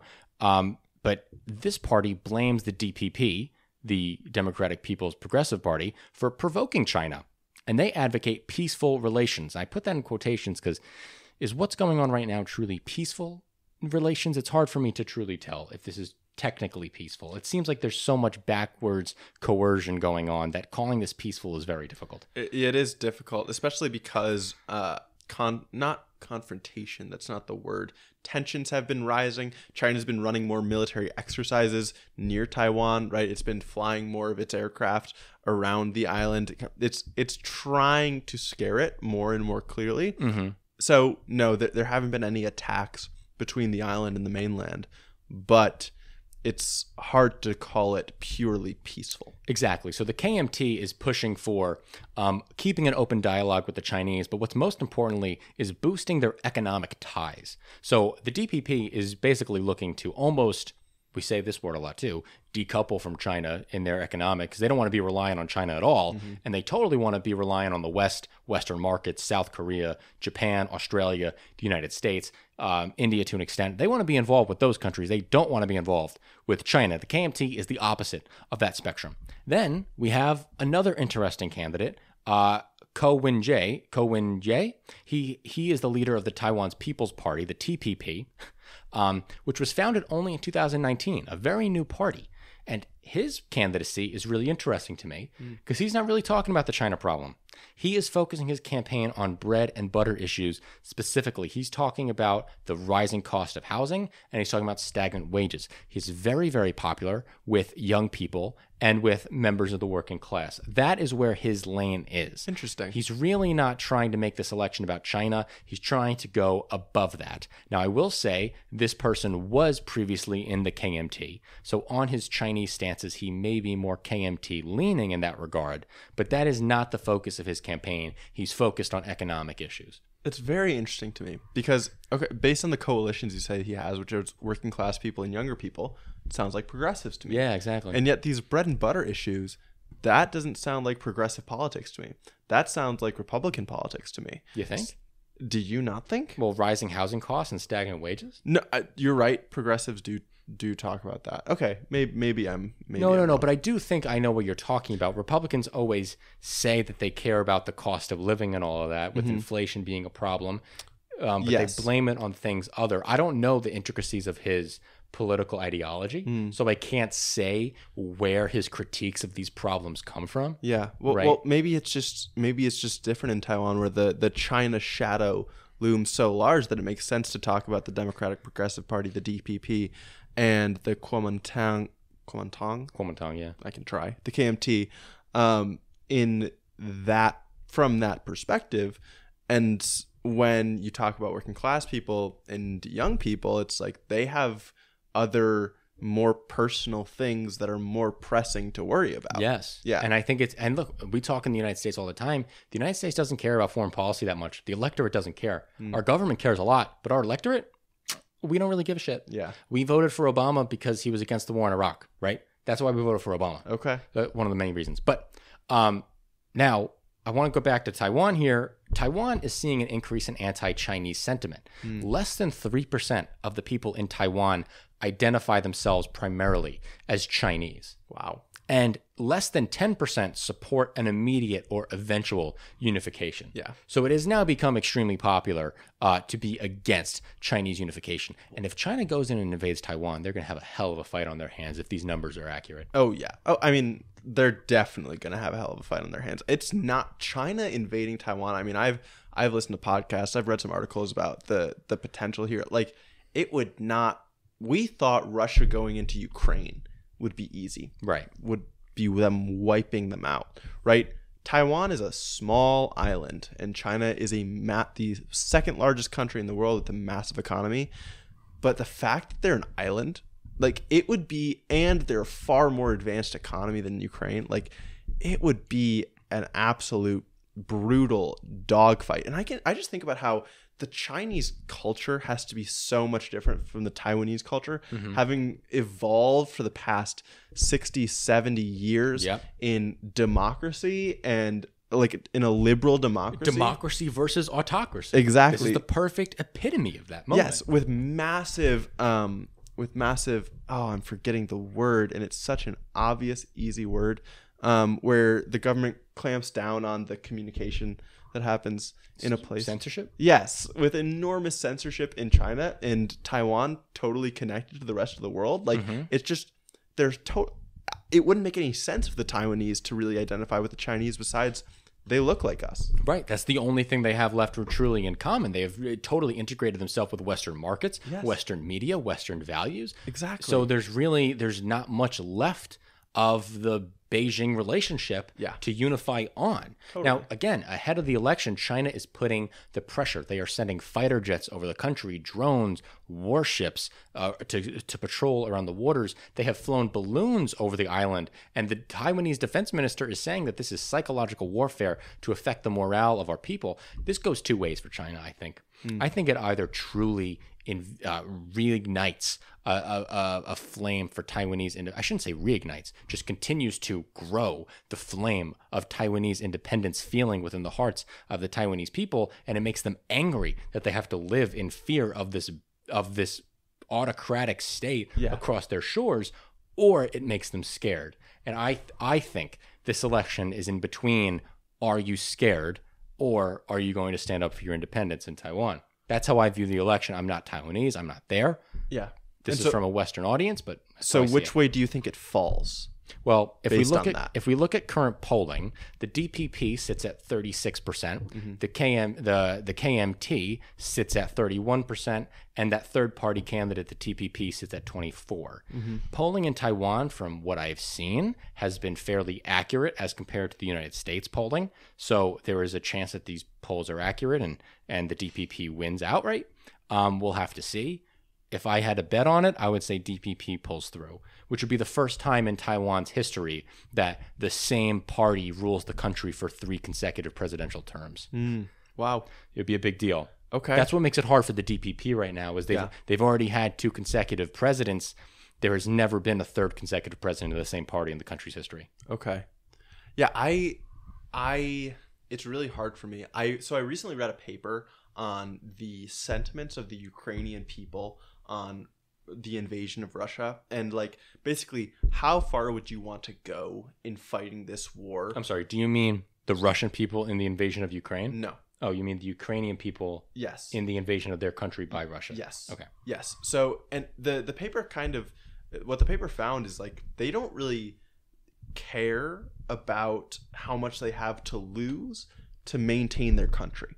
They are they want to they don't care about the losses of of men, of soldiers.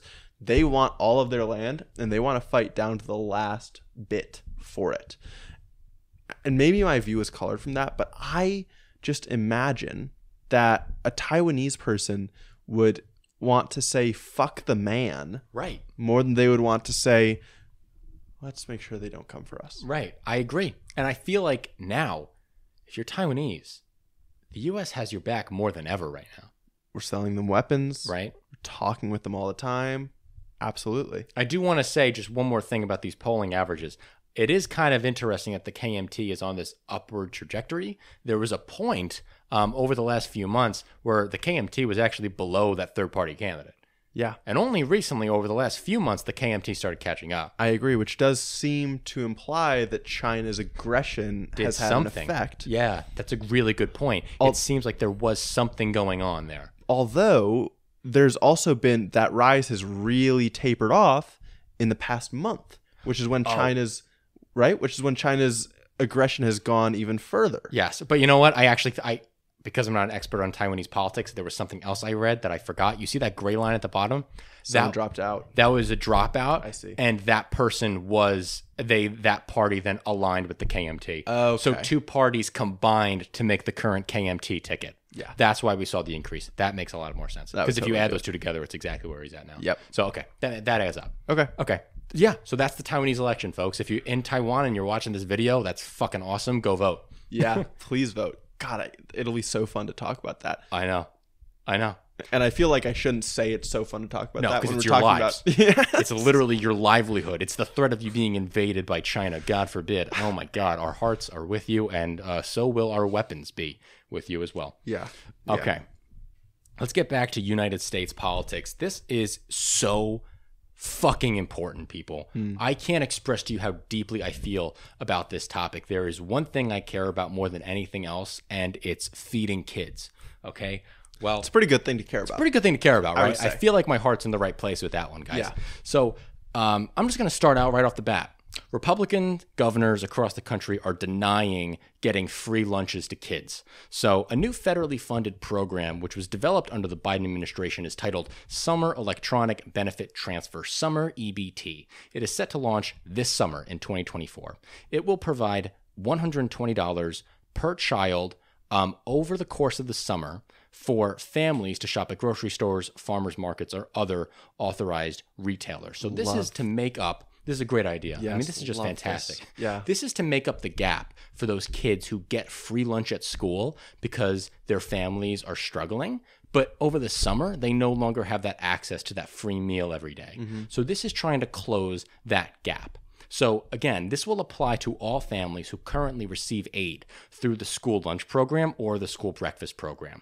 Unfortunately, this is a bureaucratic thing that I don't like. Families are not automatically enrolled, so they still have to apply for the summer EBT program. So if your child is enrolled in the NSLP or the SBP, please look into the summer EBT program and get enrolled as soon as possible. It's not going to happen automatically. You have to make the step to do that.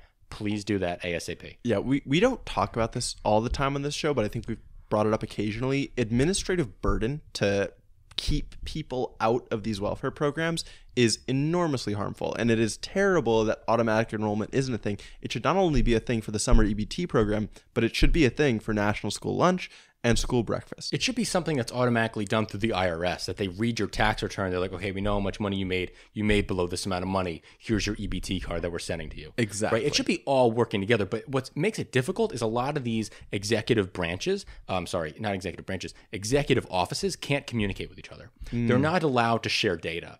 They're not allowed to. A lot of the, a lot of cases, they're not legally allowed to share data. Do you know why? Um, That's ridiculous. No, I don't know why. But that that's a. I think that might actually be a holdover from the New Deal that was never Dumb. A dumb, bro, dumb.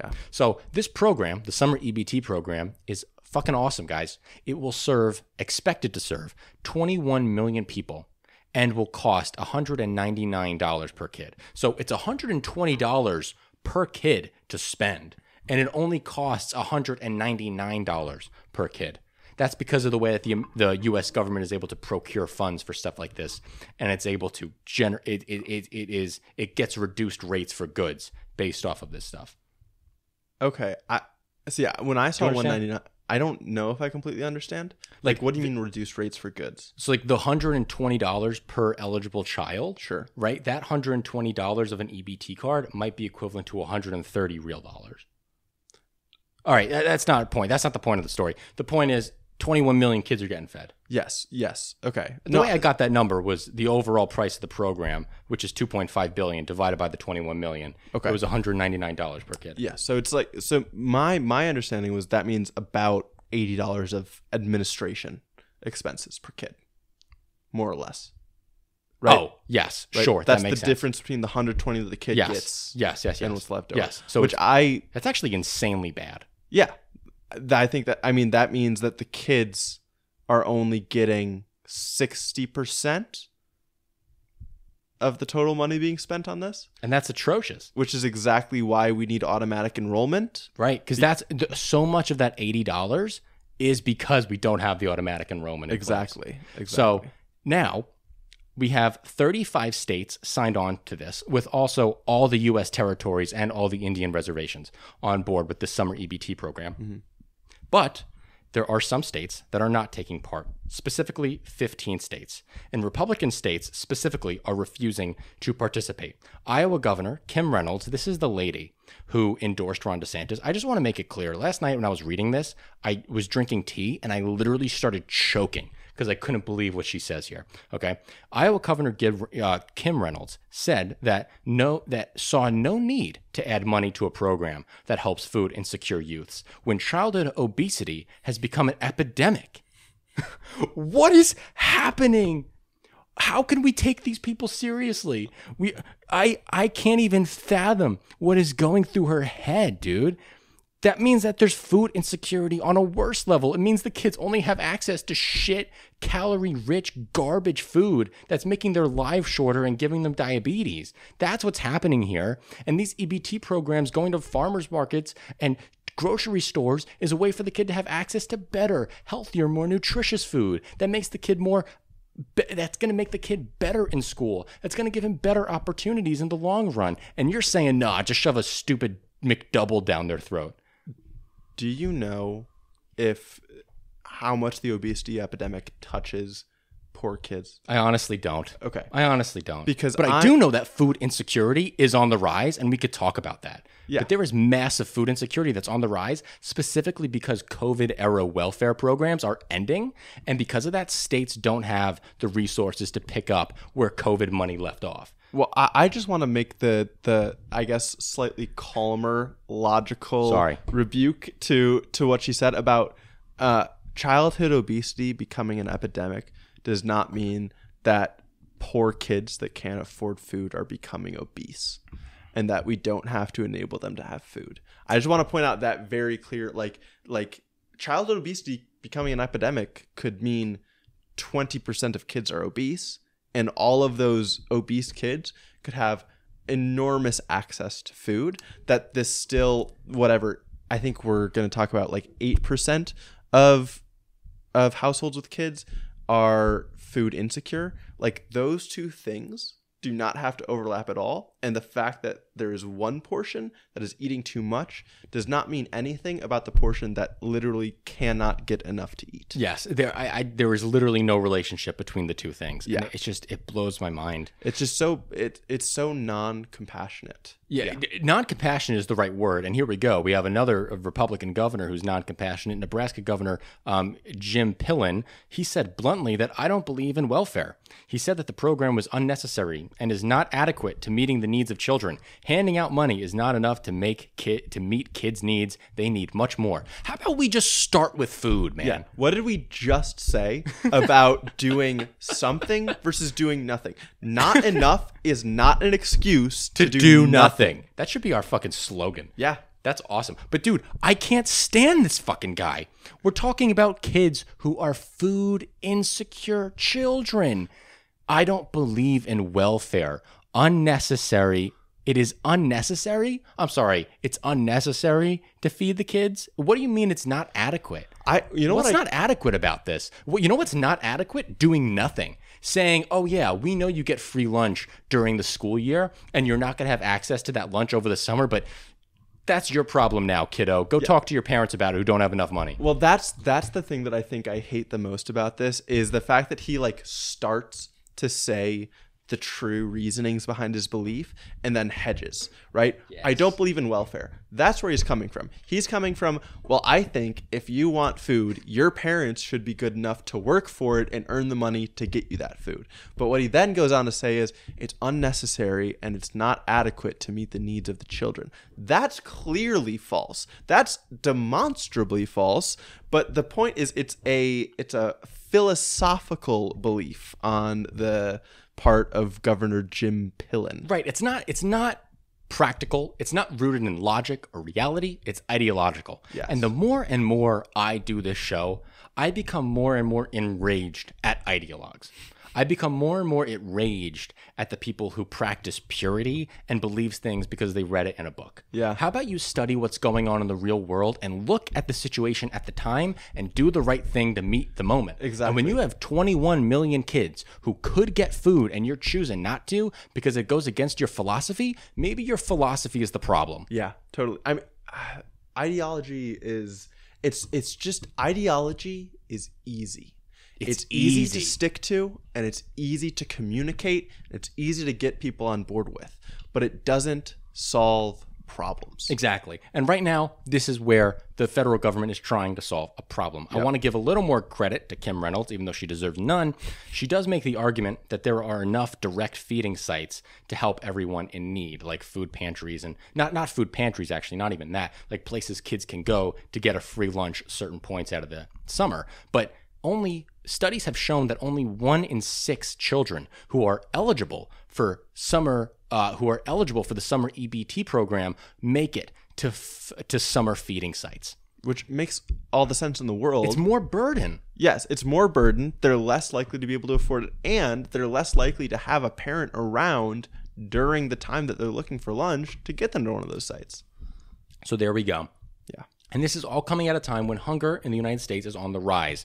So when Kim Reynolds says childhood obesity epidemic, ba ba ba, hunger in the United States is on the rise. Food insecurity rates increased sharply, with 17.3% of households with children lacking enough food. That is up from 12.5% in 2021, a 5% increase in food insecurity among our youth. And this is I, I, I want to. I just want to be nuanced about this because I looked into this data. okay. Mo- so about half of that 17.3% only the adults in the households with the kids are food insecure. Gotcha. Right? Because the good thing is these adults are making sure their kids have food before they do. Right, Which they're still sacrificing for themselves so that their kids can eat. which is still not a good thing, but I, I, I think it's noble of them. Um, but I just don't want to misconstrue how many kids themselves are actually going food insecure. Yeah, good point. Good point.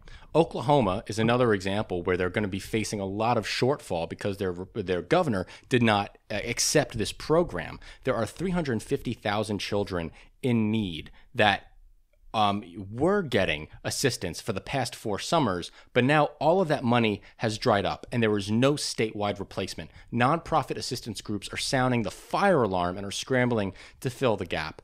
This is just totally unacceptable. And listen, the federal government has to step in here. Mm. I care so deeply equally about the urban poor and working class in Boston and New York as deeply as I do about the rural poor, rural working class in Oklahoma and West Virginia. We are one coalition of working people in this country, and we need to know who our enemies are. And I say the word enemies not as like a as a as a vitriolic hatred of the person, but just know who your political enemy is because the person who's choosing not to feed your child is not the person you should be voting for. Totally. And I think on a also on an executive or administrative level, it doesn't make sense to treat these problems as differently based on locality, right? It's just these are poor people, these are poor families that don't have enough money to feed their children. I don't think that you really need an intricate understanding of the specific state to try to treat that. And I, it frustrates me with federal law that the president can't come down and just say, "Okay, people of Oklahoma, here's your food." It sucks that it has to go through the governor, and the governor has to accept this funding. Yeah. that frustrates me a lot. Yeah. One thing I will say, I want I want to cuz I want to flip something on the bright side. Like weirdly a a benefit of the pandemic is like these programs wouldn't have had the context to ever arise if it weren't for the pandemic. We're about to talk about um, worker ownership, and there's some there's there's a lot of historical instances of contexts where only because things get really bad are people are the systems built to create to enable more good. Well, think about the New Deal. That's the history of the New Deal. Exactly. The, the history of Social Security, uh, the history of all, all, of these programs that we take for granted, the history of the Tennessee Valley Authority, the history of the SEC, the history of all of our security regulations of Glass Steagall, of separating commercial from investment banking, which went away in the 90s. But point is, all of these amazing things happened in times of crisis to meet the moment. Yeah, well, it's it's interesting because it's like okay, crisis happens and we realize we can't allow people to get this low, and so we institute a bunch of reforms and welfare to help people who have gotten that low in the crisis to get back up, and then at least parts of those reforms Stay. stay as part of the system. And right? not all of them do. We have seen an erosion of the social welfare system built up from the COVID era. With Totally. the expansion of the uh, uh, child tax credit being gone away. But some are sticking. And this is one example of a thing that we cannot let, Yeah. let slip away. And well, the problem is that historically these things also deteriorate, like slowly and slowly. Like over time, there seems to be less because they are so helpful. Mm-hmm. There seems to be less need for them, and so then there's less funding to keep them going. And then things deteriorate and deteriorate until you get to another crisis. But we have to keep these around as long as we can. yes. Beautiful. Yeah. Dude. That was so good. Thank you. All right. Now, let's talk about another thing that happened during COVID that might have shown us a new path to getting more teachers in the classroom. Hmm. I saw this article and it was so interesting. So, the question is do teaching licenses actually raise standards? Does it actually help kids to have teachers fully licensed? Well, a good example is the state of Massachusetts. And this study was done by Boston University Wheelock College. This is our alma mater. We graduated from there. Um, they collaborated with the education officials in Massachusetts government. And they have seen evidence that so far in the short term, reducing licensing requirements might not affect educational outcomes at all. So, do, and we always talk about cutting the unnecessary red tape. Totally. And this might be an example of, hey, maybe we were onto something. So, due to COVID disrupting normal teacher certification procedures like in person student teaching, the Massachusetts authorized an emergency teaching license in June of 2020. So, this meant individuals could functionally begin teaching with just a bachelor's degree. Um, and they eventually would get caught up through the traditional requirements once their emergency licenses expired. So they brought in these teachers with emergency licenses to specific- specifically fill in the gaps left by COVID. So, how did the students do in classes that were taught by emergency teachers versus the quote unquote professional teachers? Well, by looking at the math and English exams, there was absolutely no statistical difference between students' performance who were taught with the provisional teachers and the emergency licensed teachers. This is fascinating because this really puts into question the whole way that we deal with hiring teachers and how we do with like are we waiting too long to get teachers in there? Are we decreasing um, necessary competition in becoming a teacher by limiting it with these licensing requirements? Um, it's really fascinating that student performance was literally unchanged at all. Totally. It, it I must say it reminds me of our charter school discussion. I know. And you were very you like the idea of a common core because you like the idea of a structure that ensures a common learning, a common education across the nation. Mhm. I think this like teacher accreditation kind of sounds like that to me. Oh, I don't. Right? Commonality amongst teachers. You know that all teachers meet a certain standard. And so this is getting rid of a little bit of that red tape. No, no, no, no. I disagree students. entirely because all these students are taking the exact same exam and being performed based off that. They're being measured with the same exams. I mean, it's it's a different category, but it's still the idea of you don't need everyone to you don't need them to meet a specific criteria that is set to be determined as qualified. Just like with a curriculum, you Mm. Right. don't need it to meet a certain criteria that is set for it to be a good curriculum. Okay, maybe, maybe, Maybe, so, maybe. maybe so. Yeah. But I, I, I just think it's really good that if we could expand this Yes. and study this in the future, maybe we could eliminate these teacher accreditations that take so long and are costly Yeah. for people who want to become a teacher. Yeah, and and just keep people. out. I mean, there's costliness, but there's also time and effort. Well, that, that they asked the teachers what was the number one reason that you don't have a license yet, and they said the number one thing holding them back was the time.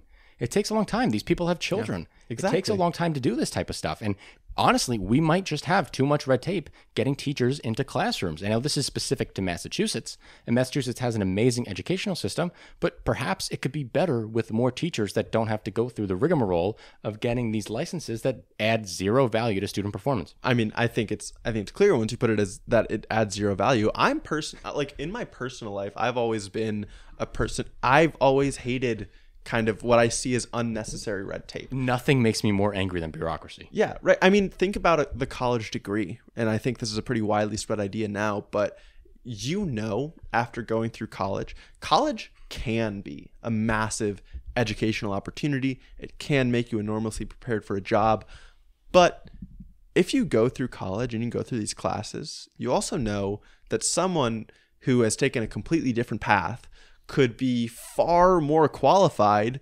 for a job that decides to take you just because you have the piece of paper Totally. right? So I think the more we can identify where the bureaucracy, where the piece of paper is given way more value than it's actually worth, and get rid of the need for that, the more kind of we're going to almost unclog the economy, right? And I think it's really important to say, as people who identify as liberals, as progressives, we don't want regulation for regulation's sake. Exactly. We don't want government to get in the way of good markets doing their thing. Yeah. That's not what we want. I think we talk loudly and often about the downsides of red tape. I mean, obviously, in the housing sector is the, the Biggest. clearest, but um, we're also about to talk about how U.S. emissions dropped in 2023, and I think we might as well move on to that. Yeah, let's do it. And they did drop in 2023. They dropped about 2% from 2022 levels, but I think these could have dropped a lot more and we could have made a lot more progress on generating more renewable energy if we didn't have so much government red tape that was getting in the way of building some of the some of the infrastructure that we need for it. No, totally. And this emissions reduction of 2% is very exciting news. It's hard to be so say, oh, it's so exciting because we need to reduce it so much more Yeah. than 2%. But at least we're on the right track and we're going down after years of honestly flatlining. So under the Trump administration, we really saw no reduction in emissions of notability. We saw reductions in uh, power, but uh, buildings were really seeing no progress. Transportation or others, really nothing to note there. But um, what makes this such an interesting year is not just did our emissions decline, but our economy grew. And that is something that I think is amazing. So we saw 2.4% GDP increase in 2023 with a 2% reduction in carbon emissions. What this says is we don't need to burn to grow anymore. True. We have decoupled carbon emissions from economic growth. Yes. And that is only going to explode in the years to come as we build out our green energy uh, grid, energy grid. It's only going to get easier and easier. This is the largest decline since 2016, obviously excluding the COVID years. This 2% decline is the largest since 2016. Um, this decline of emissions was driven mostly by an 8% drop in emissions from the power sector. We talk about that the power sector used to be the most emitting sector of our economy. Not anymore. The power sector is now third, with transportation, industry being one and two, buildings being a very, very far bottom. But power has now become lower than industry. To to not mislead, power dropped below transport in 2016 and dropped below industry in about 2018 2019. Yes.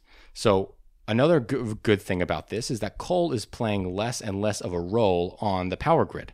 Um, natural gas and renewable generations are filling the gap uh, to uh, to accommodate for that.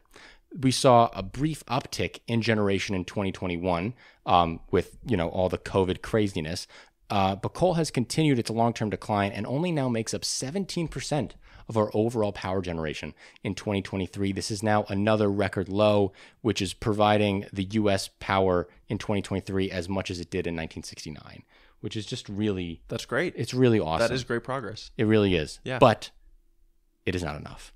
The United States needs to meet our 2030 climate target under the Paris Climate Agreement, which is a 50 to 52% reduction in our carbon in our greenhouse gas emissions below the 2005 levels. This 2005 level was when the United States peaked in its carbon emission. Well, because of this deadline rapidly approaching, it is getting harder and harder to meet this deadline. To put that in perspective, the United States needs to average a 6.9 emissions decline every year from 2024 to 2030. That is more than triple our current reduction rate of 1.9 in 2023. Yeah. This is a nightmare. Now, there are some things that are exciting about this. The research team from Princeton has estimated that the Inflation Reduction Act will result in an economy wide emission reduction between 43 and 48% below 2005 levels, close to the Paris climate levels. That 48 number is very, very close to 50, um, but not close enough. and also, It's it's reaching that by 2035, not 20. not 2030. What we've said now twice on the show is not doing enough is not an excuse for doing nothing. Another corollary to that would be that not doing enough means do more. Right. We're not doing enough. We have to do more. Exactly. It is good that we made some progress here. Admittedly, it is not close to enough. I I it frustrates me. Um, I I'm almost I'm skeptical to spin this in any positive light Okay. because I think anyone seeing this that might find any relief from these numbers needs to be completely dispelled. And I'm very much we, we were just having a conversation before this about not wanting to put people in a uh, an excessively negative echo chamber. Make them fearful, scared. Yes, just That's not our the- goal. Just for the sake of trying to propel them into something. If there was anything to be fearful or upset or angry or want to do something about, it is this. It is this. That It is is perfect. How much greenhouse gases we are emitting?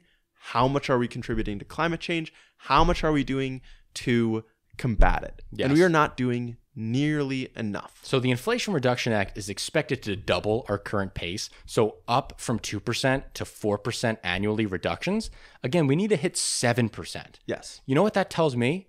We need an Inflation Reduction Act part 2 a couple years from now. No, literally. I mean, we preferably faster. Th- this is the thing about politics, right? Because the Inflation Reduction Act is still fresh in our minds, we think we've we've done our part on that for now. right. The We can- momentum is gone. we can rest on our laurels.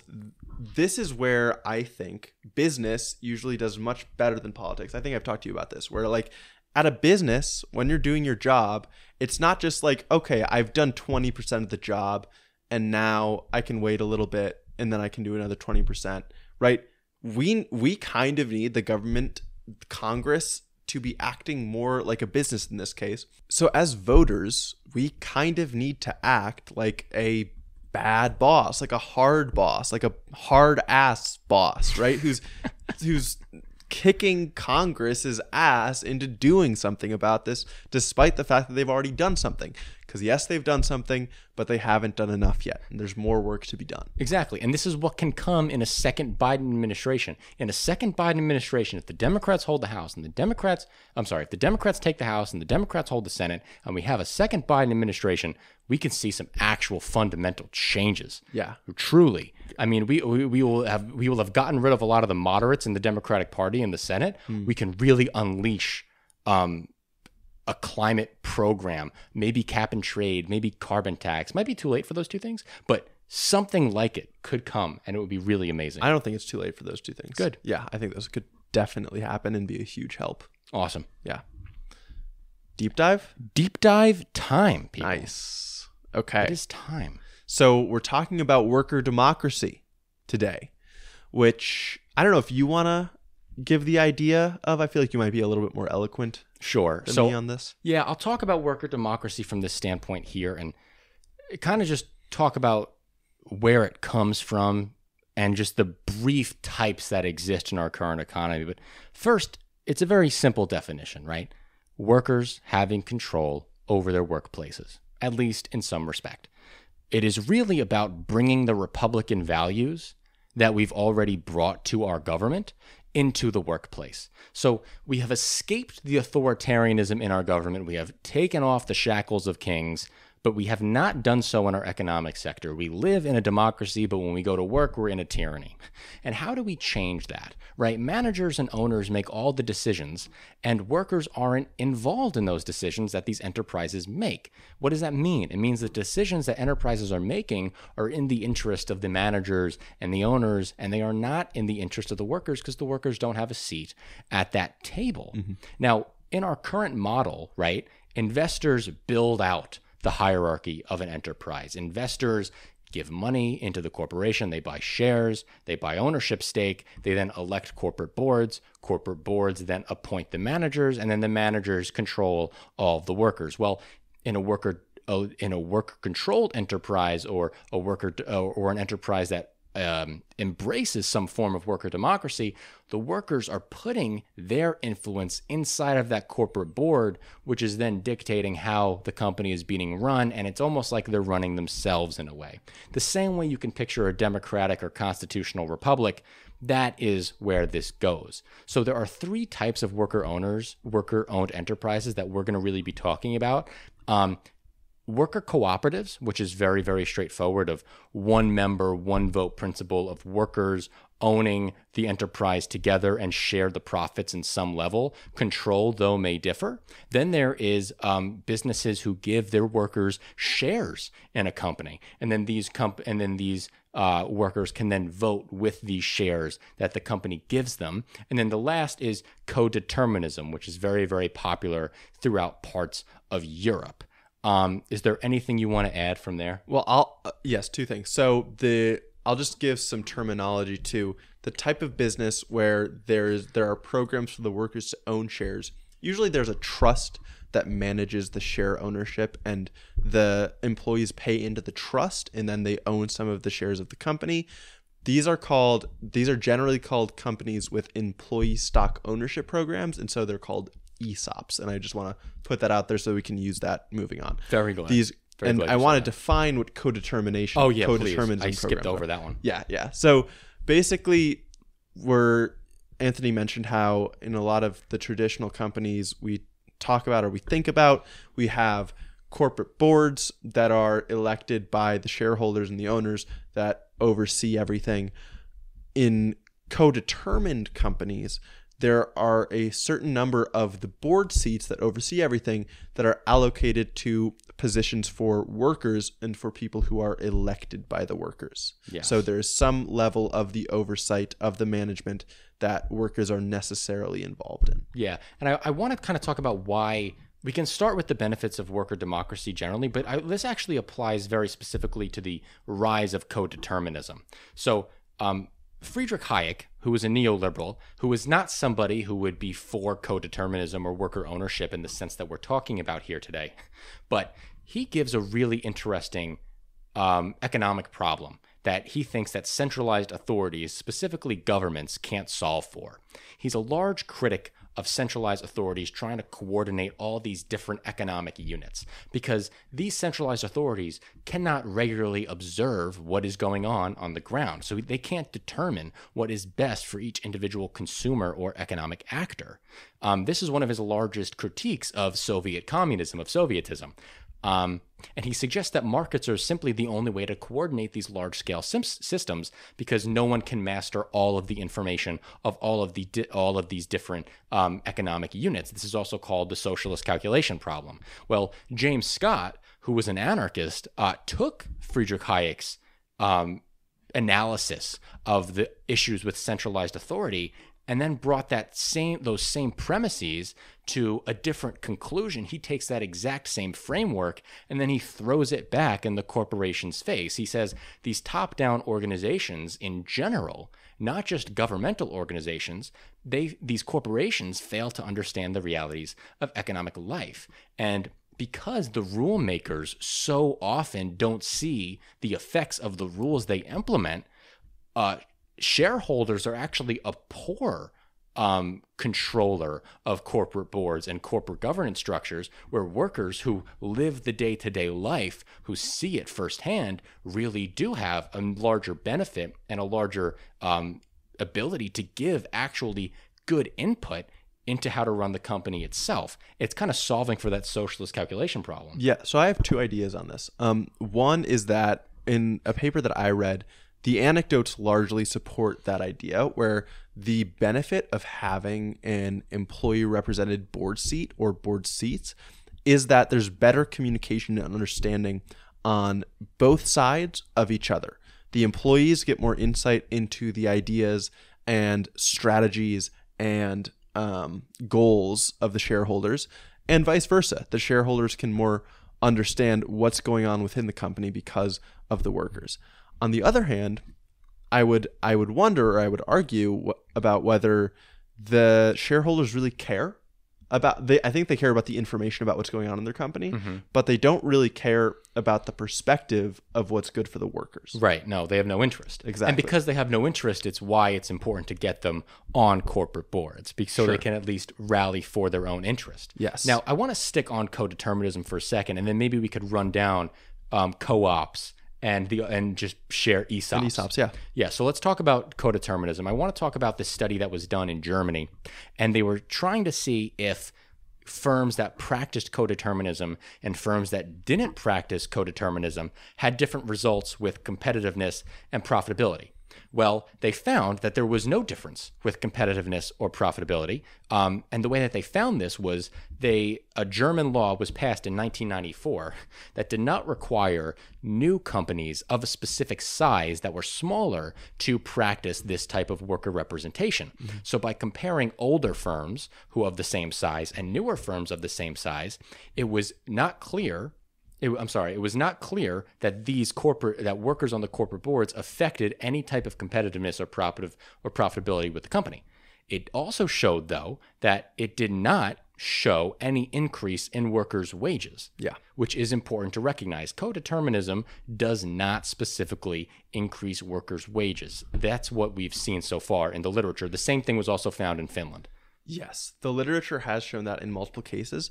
Some analysis of that literature that I've seen is because every case of legally ordained codeterminism, which basically means these companies have to have a certain number of their seats elected by their workers, um, they never give the workers the majority power. I love the way you're going with that. That's exactly boards. right. They really, the workers operate more as a supervisor to what the shareholders are deciding rather than an active partner in shaping deep company um, uh, uh, uh, policy and investment strategies. Okay, I I wouldn't go that far. Okay. that's that's not what I read. At least. Okay. where I'm where I'm trying to go is more like the the worker elected representatives are in these boardrooms and they are listening and they are participating in the conversations.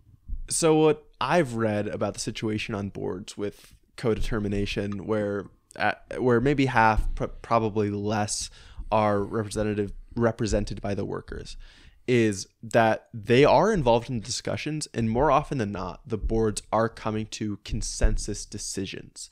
The problem is there is always they're coming to those decisions with the context in the back of everyone's mind that the shareholder representative board members can always outvote the Yeah. worker representative vote um, board members. So it is nice because they do have input into the discussions right? But whether it's because they know that they have that disadvantage in the vote or whether they know that what's good for the company overall Is sometimes generally good for the is good workers. for the workers Right. generally is good for the workers I have read anecdotes of people in like this is like a magazine article talking about codeterminism, and and there were some anecdotes of people suggesting like I feel like uh, he was a worker representative on a corporate board, and he basically said he's like I feel like I'm just watching. He's like I might as well be a camera. Yeah. like that's how he felt. He's like I might as well be a camera, and then the workers could just go and watch what happened in the meetings. Right? I've, heard, He- I've he- heard that too yeah, he felt like he wasn't making much of a difference. And it's good that you pointed out that this is because of the minority stake that workers have. And socialists in the 1910s and 1920s saw this fear. Social democratic parties in Germany in the 10s and 20s were actually against minority representation uh, on corporate boards because it's going to placate the workers. because it was placating the workers and giving too much away to capital. Yeah. So they were specifically against this type of codeterminism, Mm. which I find really interesting because now in the United States we would fucking fucking eat this off the floor if this came to us. As far as the progressives, as far as the leftists, Yeah, as sure, far as the progressive side of the aisle would. yeah. Um, But that, yeah. So co-determines co-determinationism is interesting. I definitely think it's an interesting start to this type of thing. well, I I really want to ask: Do you think that a co-determination agreement where sixty percent of the board members were elected by workers would we have significantly different outcomes? Would we see real difference in companies? That's what I'm so curious about. I honestly don't know. Like I don't I don't think so. I think companies would generally still be run in Oh. a similar way. no, no. I, I, I can give you some examples about how a, a major difference. Okay. Um, so this is going to take us to our cooperative conversation. Sure, sure. But so if, if we're going to start going to majority worker owned, Yeah. now we're getting into co-ops. Yes. So what is a worker cooperative? I've said this before. I'll say it again. Worker cooperatives are like when workers collectively own the company. Now there are some cooperatives that actually sell some of their shares to investors and shareholders. And then some allow them to elect some board members, some don't. So they could be non-voting shares, but they mm. still sell off ownership of their company. So I think a, co- a company that has majority worker ownership would operate more like a co-op Sure. that is allowing shareholder investment, right? Mm-hmm. So in these companies, one of the big impacts we see is workers less likely to be fired Okay. in times of recession and poor revenue. Because when this happens, workers are more likely to take a pay cut than to be fired. I see. And they're more fluid with that because workers hold solidarity with one another. And in these cases, they say, okay, let's cut wages by 4% so that we can save everyone's jobs. Here's an example of this in the United States that's not operating with worker ownership UAW during the recession. They decided to cut their pay and stop the um, cost of living uh, increase in wage adjustments specifically to keep everyone's jobs. I think that would be way more prominent in a majority owned worker company. Why do you think traditional companies don't go that route? I think it's well, I think it's because it's faster to fire and cut that cut out the waste. I think also think it's cheaper in the short term. Okay, it's it's definitely cheaper in the short term. Yeah. Do you think it's because they need to serve up heads to the Oh. shareholders? Oh, yeah, that's a great point. They need a bigger move for the audience to see. And I also think it's also psychological warfare against the workers that remain. Okay. I totally think it's like a you better play your cards right because we're not afraid to fire your ass. Yeah. Right? Yeah. You better be willing to do more for less. Otherwise. Yes, exactly. Off you go. Okay. And there's also less inequality in firms that are cooperative. Okay. So there is way less um, inequality. Here's an example of the of uh, Uruguay.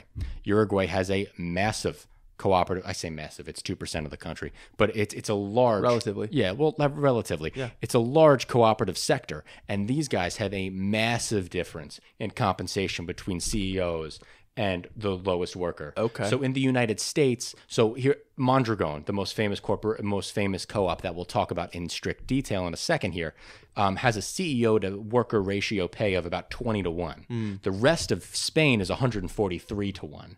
So there's a lot less inequality in between the firm. that makes sense. And that's something that I think would happen in a majority owned or majority elected Okay. company. I'm I'm I'm less sure. Just because of how I, I think I think this is where corporate structure comes into play. Mm-hmm. And having a even though you have a worker elected board, having a board that is still relatively disconnected from what is below, mm-hmm. right? And still having a a similarly hierarchical management structure of the company Yeah. boards don't do that much day to day. Boards don't, especially the bigger the company gets, obviously, but boards don't make the hiring firing decisions that much of the time. Mm-hmm. No, I so I think for co-determination, I I think you do need something that is more like employee ownership at a large scale Mm-hmm. to get both more equivalent incomes and less strict firing. So what you're saying is majority elected worker cooperatives doesn't go far enough in the worker cooperative direction to see the benefits of a worker cooperative in terms of reducing pay between CEO. Yeah, to see the hopeful benefits. Okay. Right? Yes, I Yes. understand. You need you need worker ownership more than worker representation on a board. I totally agree. Yeah. I totally agree. Yeah. Um, and worker ownership solves both problems. yes. Right. Yes. And this is actually a great transition into ESOPs. yes. So, uh, do you want to give the explanation of an ESOP? Yeah. So an ESOP, uh, we we mentioned this at the beginning, but an ESOP is an employee stock ownership program. Uh, I think the best example that you could think of in the U.S. for anyone watching this is Publix, which is a grocery store that operates mostly in the Southeast. Um, basically, there's a trust that owns most, if not all, of the stock of a company, and the the trust is paid into by the employees. Uh, so that it can distribute shares to the employees. So the employees are still the ones that own the shares of the company, but it's not like a co-op because it's not it's not necessarily one share one vote. It's not that all of the employees own equal amounts of shares. It's completely it's variable based on how long an employee has been on a company, how much they've wanted to pay into the trust.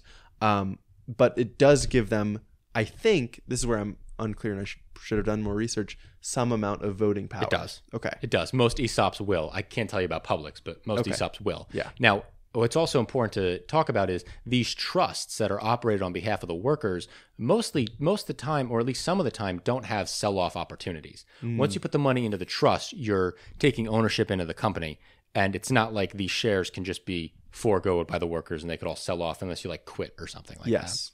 So these ESOPs, I think, are a very, very viable path to the United States getting some type of worker ownership in the economy. Yeah. Because we already have a lot of share buyback, not share buyback, that's not the right word, um, share uh, uh, stock options programs in the United States. Yes. I have stock options with my company. I don't know the exact way that I'm able to vote on everything, but I do know that I'm able to take partial ownership of my company through stock buy, through uh, stock options. And that is a way that United States could very, very easily transition into a type of worker democratic framework. Yes. And now it gets easier for places that are already heavily unionized to go the more Publix route of like make, setting up a specific trust that's run on behalf of the workers. Yeah. And that takes up more time, uh, takes up more and more capital over time. Um, but there is one issue with cooperatives that I think is really important to mention. With cooperatives or with ESOPs? Sorry. Or this- with both? Sorry, sorry. I think this, no, no, no, this is specifically with cooperatives. But what, what more do you have to say about ESOPs? Well, the oh, I was I was gonna say something. Yeah, like the United States and Japan, ESOPs is the way to do it. Oh, all I was gonna say is that ESOPs have been on the rise in the U.S. The honestly, the main because there there have been a lot of studies that have come out over the past couple of decades that have shown their benefits. That has shown it's it means you're gonna have better worker retention. um, Way your better workers worker are gonna be more productive. Uh, you're gonna have a better culture where everyone is way more invested in doing something for the company, which obviously makes sense.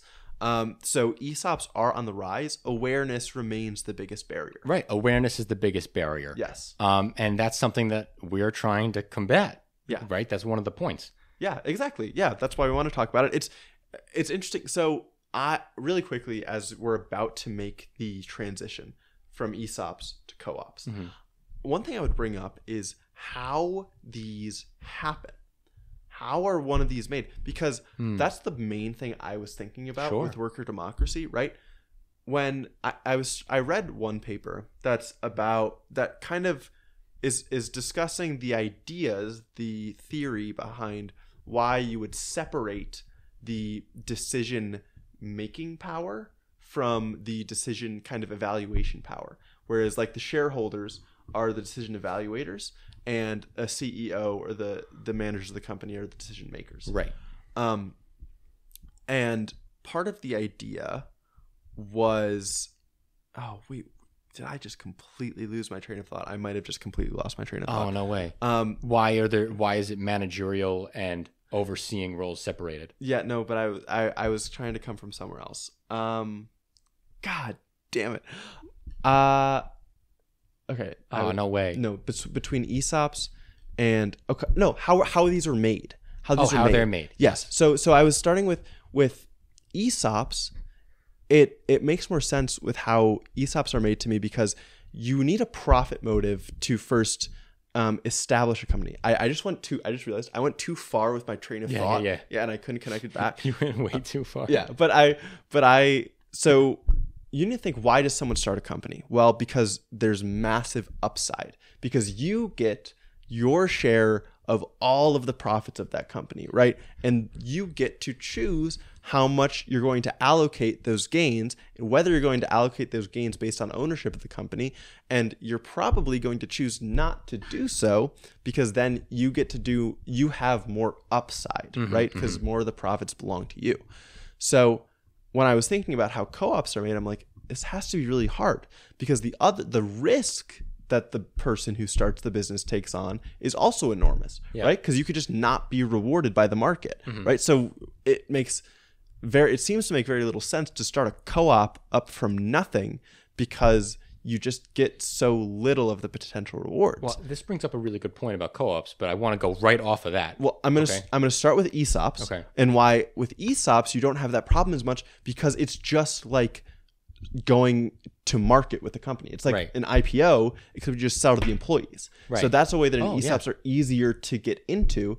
With co-ops, it's still a big problem. And a lot of times co-ops form by just being a bunch of disparate organizations that realize that by joining together and sharing ownership of a bigger organization, they might have better bargaining power as a buyer or as a seller. Yeah. Yeah. And another, uh, so then this brings into one, how do co-ops get formed? Well, I can go through a list. So co-ops, I've given you the definition, worker owned, kind of one person, one vote. Mm-hmm. There are a bunch of different things, but it's really like really the purest form of worker ownership. The purest form. the purest form. Okay.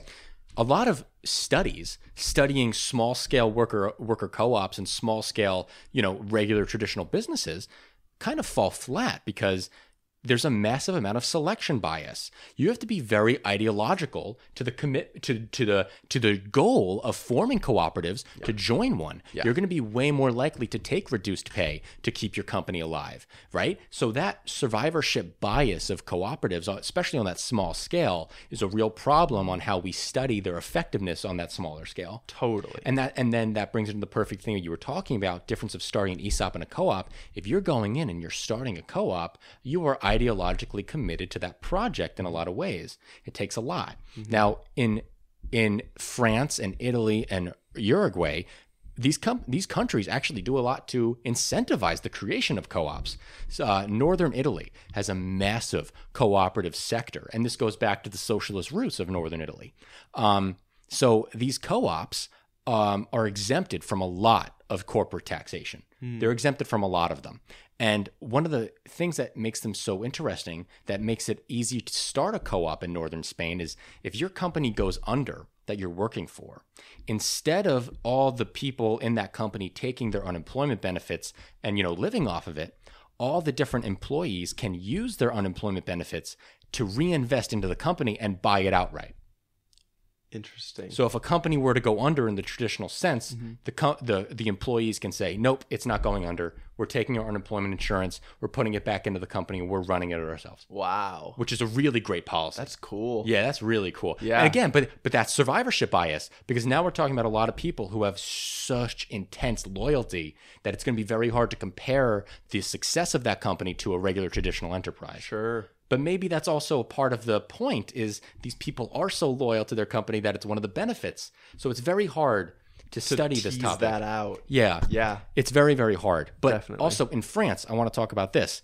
Um, there is a, a really great um, there there is a lot of regulation around the French economy that tries to keep co-ops from devouring themselves. Now, I haven't seen evidence that co-ops do devour themselves. I've seen them be very effective, um, large scale, small scale. They don't seem to do that, but the French uh, tax policy says that a certain percent of the profits of any worker-run enterprise needs to go directly back into the business, and they're trying to get as they're trying to keep co-ops alive as much as possible because these states have a bit of a, a ideological commitment to creating them, Yeah. which I think the United States could do, and we actually do have a little bit of tax advantages for uh, co-ops in the United States. They're just not utilized Yeah. we actually have them. They do exist. Well, because again, that it's going to take a choice Right. for someone at some point to give up all of that consolidated power, Yes. right? And that's hard,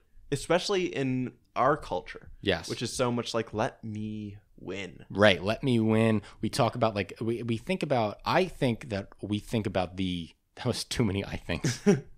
we think of the businessman as the next frontiersman of the cowboy Yeah. in our culture. right? Totally. But it's really so much different from a cowboy because a cowboy was alone on the ranch. Um, a businessman is not. He is relying on the people around him just as much as he's relying on himself, whether he knows it or not. Yeah. Everyone he hires is intricate to the production. So, Well, I think something implicit and not spoken about or paid attention to in the story of the businessman is that he had like weirdly it's like he has figured out and maneuvered his way to be able to use the labor of all of these people to boost himself to this point Yes. to this peak Yes. right and so like that's that's something we're not willing to accept as a culture. I think yeah, yeah, exactly. And I and I hear conservatives or or uh, economic conservatives talk about how like oh, 1 million or 3 million people in America last year made a million dollars. You don't think everyone could do that?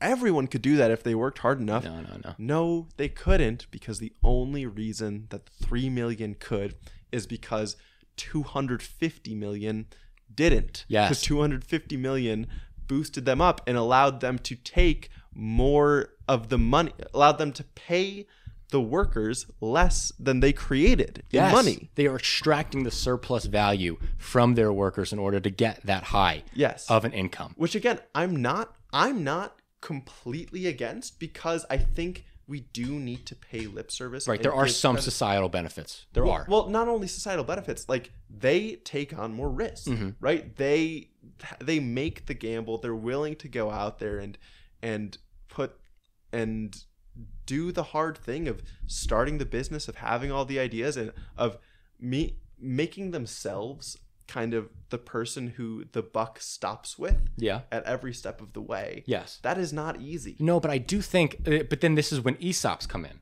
When it reaches that certain point of growth, Mm. It no longer is that much risk on that person. true And so at that point, it needs to start shifting into a larger collective enterprise organization mm. that is operating for the benefit of all because that that first risk, you've been rewarded. It is now much larger than you and has surpassed anything you could have done on your own or even your brainchild creation in your notebook. I kind of like that idea. So some kind of legislation may be saying companies above X number, they become E ESOP. I love that you're saying this right now because I have Bernie Sanders' policy proposal from the 2020 presidential election, and it's that. Really? Well, I'm going to read it to you outright. Please. It's really good, but I will when we're done. That, that's what Are I want to not end. done? I feel like we were getting No, towards no, a no. great point. The last thing, the last thing I want to end with. Mondragon. Mo- Mondragon, okay? Mondragon. Because these are the downsides of a worker cooperative, and I want to be honest with them. Hmm. So the firm has grown massively. It was literally five guys in the Basque region of Spain. It is now ten thousand. Um, I think it. I actually, I think it's ten thousand workers or something mm. across the globe. Wow. And so each one of these cooperatives elect representatives, which then go to an international Mondragon Congress to elect the president. This is causing a lot of problems because now people feel like their voices aren't actually getting heard. And in addition to this, Mondragon has taken on hiring contractors instead of bringing on people as full employee owners because they mm. don't want to expand the employee ownership anymore, which is lame as hell. Yeah. And so when the 2008 recession hit, they just fired all their contractors, um, which is like defeating the purpose of a worker cooperative. So there is a lot of room to grow in this space, but this is just one of the most prominent examples. Now, let's end with where the United States can go. Yeah. I think we've said that the ESOPs are the best way of the United States to do this. Some type of co-determinationism plus ESOP program is the best way to get this done. Mm-hmm. So I want to read to you some of the things that Bernie Sanders was proposing in the 2020 presidential campaign. Um, he wants to share corporate wealth with workers. Under his plan, corporations with at least $100 million in annual revenue or corporations with at least $100 million in balance sheet total and all publicly traded companies will be required to provide at least 2% of stock to their workers every year until the company is at least 20% owned by employees. This will be done through the issuing of new shares and the establishment of democratic employee ownership funds. These are the trust funds you were referring to. Mm-hmm. Next, the funds will enjoy the same voting rights as any other institutional shareholder, and their shares will not be permitted to be transferred or sold. Instead, they will be held permanently in a trust for the workforce. Dividend payments will be made from the funds directly to the employees. This is like a type of profit sharing. Then, 45% of the board of directors in any large corporation with at least $100 million in annual revenue, corporations with at least $100 million in balance sheets total, and all publicly traded companies would be directly elected by the firm's workers, similar to what happens under employee co determination in Germany, which long has one of the most productive and successful economies in the world. That is incredible that a politician in the United States of America was pushing this type of transformative program on the national stage like this. I don't think it's enough. I love that you feel that way. Well, okay. So first of all, the the uh, can only add all my thoughts here. I heard the hundred million number. I was like, is that too small? But then you think, okay, pretty much no hundred million dollar company is public, Right. right? So this is a private company which might have certain private investors. I guess I'm, I'm wondering like how diluted could that 100 million get? Right. Could that 100 million get diluted enough that the people running the company that it's still small and still has a ton of room for growth in a way that would honestly help the economy and that you're legitimately removing incentive mm-hmm. for the CEO for the founders that got all this investment and hired all these people by diluting it anymore. Right. So that is one question. Another Good question the 20% number provide at least 2% of the stock to their workers every year until the company is at least 20% owned by employees. Seems too little to me. So i'm think i think i think i want one of these laws to give 51% to the employees. I want to get to the point where employees can fully own the the, the company. So worst case scenario is they don't like the ceo or the the owner of the 49% the founder he's put on his ass to do nothing and he's sitting with 49% of at least a $100 million company in my opinion probably should be more than a $100 million company Yeah. then because they have that amount of power the employees can decide to make it a full co-op can decide to buy even more of the company from the person so they can democratize these even further but most importantly But the so shares that- but the shares stop getting issued at 51. yes Got yes they can decide to do more of it themselves then because you have enough democratic control at that point Mhm. um and besides I, I guess besides that The it- 40 if you're go 45 is just connected to what i'm already Right. saying If you're saying 51% ownership, the 45 number now becomes irrelevant. exactly Wow. Great stuff, man. Yeah, I, if we're if we're gonna do this, let's let's Let's push fucking do it. let's push the Overton window. Yes. so that we have a real solution. Yes. in view. Hell yeah. So worker democracy, it's really awesome, has its ups and downs, but it will be the future. We'll make sure of it. Thank you. See you guys.